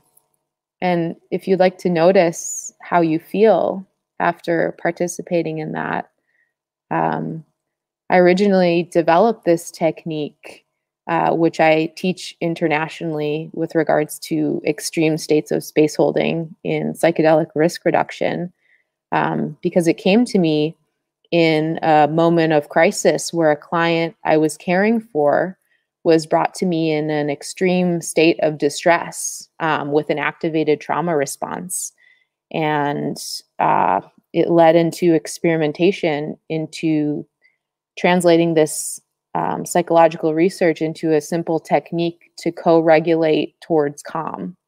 So, these physical cards, these planetary play prompts, can be used not only in such moments of crisis for emergency grounding and support, but also as a way to open a window into embodied empathy between our internal and external ecosystems. So, these planetary play prompts can be placed anywhere um, that you could benefit for a nudge towards oneness. Am I at time? Okay, great. And with prompts or if you're inspired in any way, my email's uh, in my title card.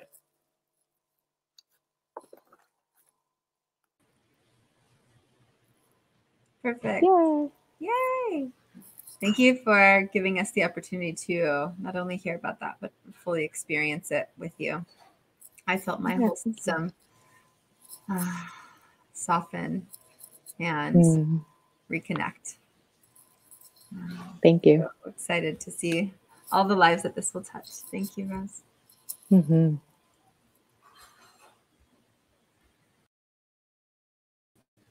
All right. Next, we will share with you a message from another visionary polymath in the collaboratory, Matt Severance, who is a socioeconomic systems designer, machine learning engineer, musician, and my beloved. Hope that you enjoy this.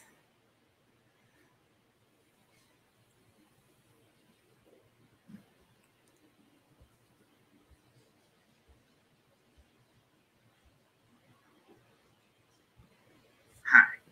So I don't know exactly how to start this because I started this project years ago. It's been um, in progress for a very, very long time. And since it started, I've done a lot to spread the idea, and I've done a ridiculous amount of work on it. But in all those years, I haven't really gotten anywhere. So, how do I ensure that this next burst of work that I do doesn't have the same effect as the past? What action is the best to take to actually manifest this vision?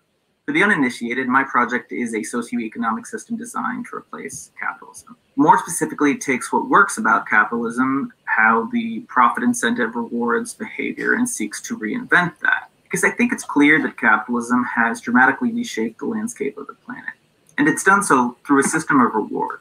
People's actions are actively shaped by the need to earn money to simply live within society. So, if you want to see the same scale of planetary transformation, but in a positive direction, you need to have a reward system that actually rewards long term collective well being and not just self serving behavior. You need a token that people value as much as money, but the earning of this token requires helping others, such that we are actively quantifying mutual aid. Because what the profit incentive does is it quantifies self serving behavior. So at the heart, it's a very simple idea reward people who help others. The implementation, however, to make such a system work well is complicated. And spreading complicated ideas is hard. I understand deeply that the dissemination of ideas requires attention, but accessing that attention is challenging. I've written a 100 page white paper detailing how to build such a system.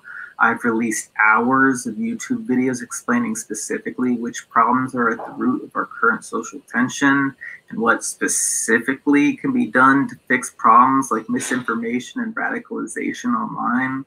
I have the expertise. I've worked in systems design, fraud, knowledge representation, psychology, communication, and machine learning, but I am simply unsure how to get this idea into people's minds.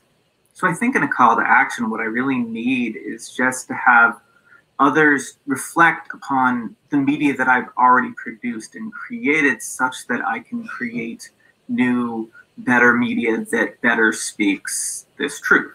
Because if I can't convince people to just consume the media that I have already put out there, and instead have people want me to personally explain it to them. I am only ever going to reach one person at a time. There has to be the production of media that many people can consume at once, that many people find interesting, that many people find entertaining. And I do not know how to create that. I do not know how to motivate other people to create that.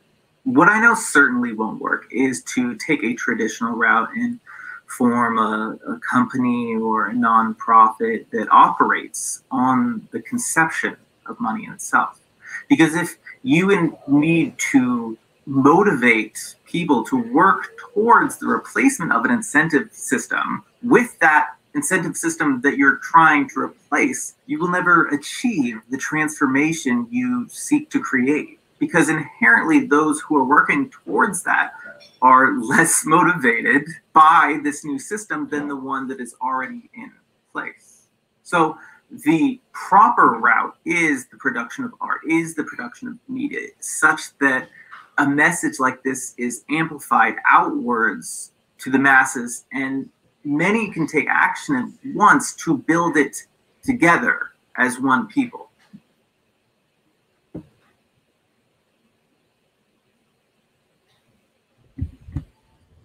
Collaboration instead of competition, rewarding a world that actually supports people who help others instead of competing for that. And the lessons that we learn from our planet, how can we embed those into our systems? This is the work of our generation, the regeneration. And now I introduce to you all our final presenter for today, Umair Zia Malik, an architect and technologist who is a delight and wonder and has created so much already in the Design Science Studio and in the collaboratory. Thank you so much, Umair, for your care and for the great work of bringing living systems and the blueprints that it provides to the world. Welcome. Thank you so much, Roxy. Um, so we have come a long way in learning from the living systems and applying that knowledge in technology. Uh, but three major uh, milestones uh, in my opinion, are uh, the first one being living systems as mechanical devices, efficient machines.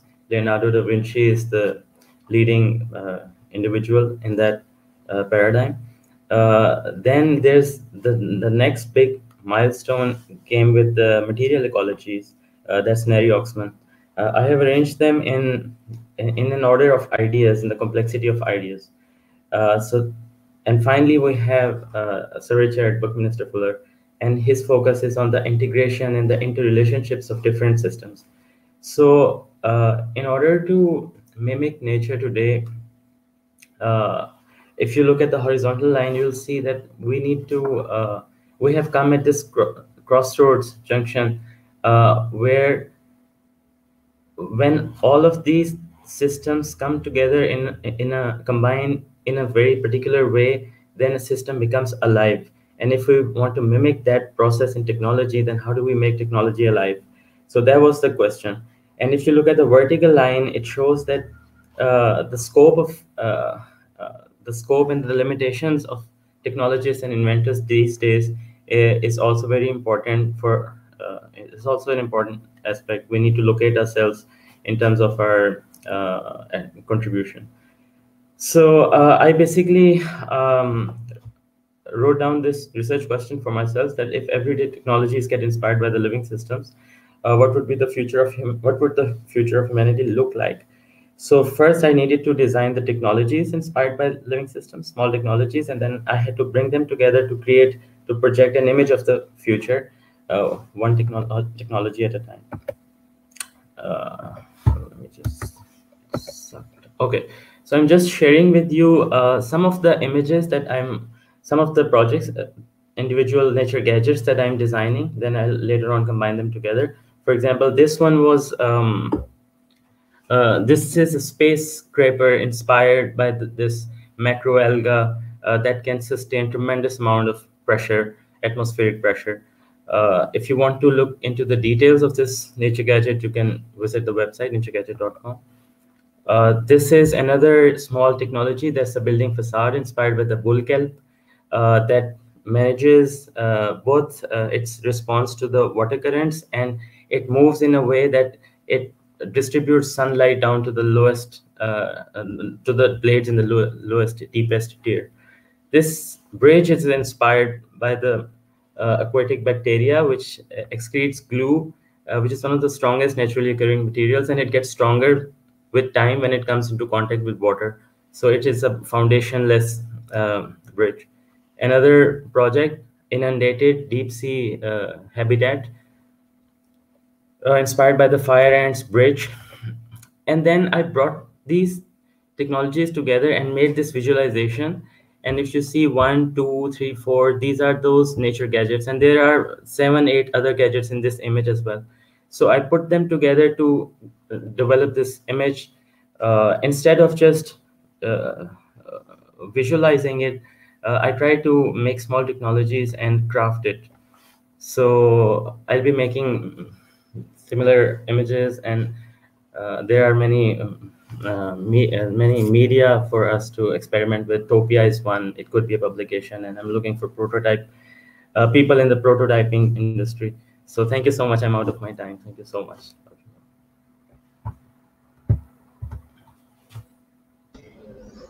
Thank you so much, Umar. Wonderful, important work. And Roxy, what do you think? We're um, we now seem to have, uh, with Umar, uh, Umar's uh, really exciting and important uh, consolidation of these ideas in a theoretical framework, we've reached the end of our amazing group of presentations. Thank you so much, Umar. Yes. Thank you so much. Thank you. Thank you so, so much. And yes, you're right, John, we have. And what a day it has been. Uh, it is wonderful to not only hear, but to see these visions and to truly feel into what we can create together. Um, I feel compelled to share a little a bit of prose, we'll say. Uh, we have we have an upcoming artist salon for the Design Science Studio, and the intro of the invitation is is so sweet and poetic, and it feels really relevant to a way to close this conversation today.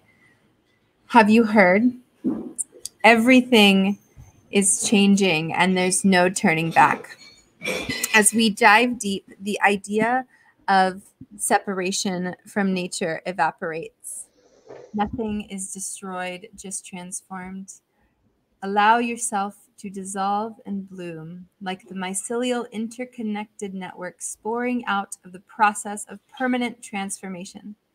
The metamorphosis has commenced. And as our friend Bucky said, well, there's nothing in the caterpillar that tells you it's going to be a butterfly. And that, that comes to us from, from Nicolas, uh, a part of our team. And, uh, and we invite you all to continue with us. We have a few exciting events to share with you now. Um, and this one is the Dissolve and Bloom event that's happening on Saturday, December 19th. And you'll get to dive into some of the hearts and minds of the Design Science Studios 144 inspiring multidisciplinary international creators through an immersive and interactive world that will inspire, inspire exploration and shift the way you relate to the potential of online events and art. So we hope that you can join us and passing the mic to you, John, uh, to share more about the upcoming event with UCI. Thank you so much, Roxy. Um, in addition to being a professor at UC Irvine, I'm an intermedia artist, and I have the great honor to be one of the co-founders of the Living Systems Collaboratory. I'd like to share with you some thoughts from a book that was published almost 50 years ago, but the some of the thoughts in it are as fresh and maybe even fresher now than the day it was published. This is a book called The Tao of Physics by the physicist and philosopher Fritjof Capra, who points out that some of our, and this was half a century ago, points out that some of our most advanced and thoughtful scientists have discovered and advocated a paradigm shift, a very important paradigm shift that takes us from thinking in terms of structure to thinking in terms of process. And for the scientists, this insight takes us to an understanding that process is primary. Now, for artists, I'm not sure that this is such a revolutionary discovery, but, but bear with me for a minute. These scientists understanding that process is primary started to realize that every structure we observe is the manifestation of an underlying process. Going back to Einstein's work of over 100 years ago, his relativity theory helps us to understand that mass is a form of energy. Or maybe the corollary can be that these subatomic particles are not made of any material stuff. Some subatomic particles are patterns of energy. So when we observe them, we never see any substance. We never see any fundamental structure. What we observe are dynamic patterns that continually change, shift, and morph into one another. In other words, and these are Capra's wonderful words, he sees these processes as a continuous dance of energy. I love that, a dance of energy. Systems philosopher and patron of the Living Systems Collaboratory and uh, a colleague of Fritjof Capra, Mansour Akili, helps us to understand that this dancing energy can be conceived as particles engaging with one another to create self organizing nonlinear networks. So I would invite us all to use this as a metaphor to see ourselves as particles, to find ways that we can engage with one another, that these self organizing nonlinear networks are in some ways the inevitable outcome of this notion that structure really is driven by or supported by or enhanced by a notion of process, that process is primary, and that we are such integral elements of that process. And to that end, I'd like to share with you um, uh, an event that's uh, coming up at UCI. Well, it's at UCI, but um, it's fully online, so you can visit it from wherever you are. It's called New Slate. And it's a dance concert that features the work of our wonderful uh, choreographers that are in the MFA dance program at UCI, three of whom you heard from today, and three of whom will be presenting in this concert. So um, you will um, hear more, uh, or you will see more of what you heard about today from Brandy Lee, Carl Sanders, and Whitney Shumansky. Um, and I will tell you right now, their work is transformational and wonderful, and it's accompanied, as, as you can see on this slide, by the work of their of other uh, wonderful MFA choreographers in their cohort. So uh, this link here, UCI Dance Online, is the place you go to watch the concert. Um, it's streaming, not sure why the time isn't in this, but it's at 8 p.m. Pacific on December 10th to 12th. And we'll also be circulating that information to this network. So um, definitely encourage you to check that out and see a bit more of the work of these wonderful creators. And uh, so speaking of wonderful creators, Roxy, we had uh, presentations from really quite an amazing cross section of 27 artists and creators of various descriptions. Um, I want to express my heartfelt thanks to you, Roxy, to Nico, to Faith, to the entire team that's worked so hard to pull this together. Um, as I've said multiple times to the members of the collaboratory, but I'm happy to reiterate this here for the benefit of everyone. This all is an experiment. None of us have ever done this exact thing before. And how many times can we say that in our lives? Only really when we are in the moment of creation. So thanks everybody for your time, for your attention. Look forward to seeing you at upcoming events and uh, please reach out. Thank you, John. And thank you all for tuning in. We hope to collaborate with you soon. All our best.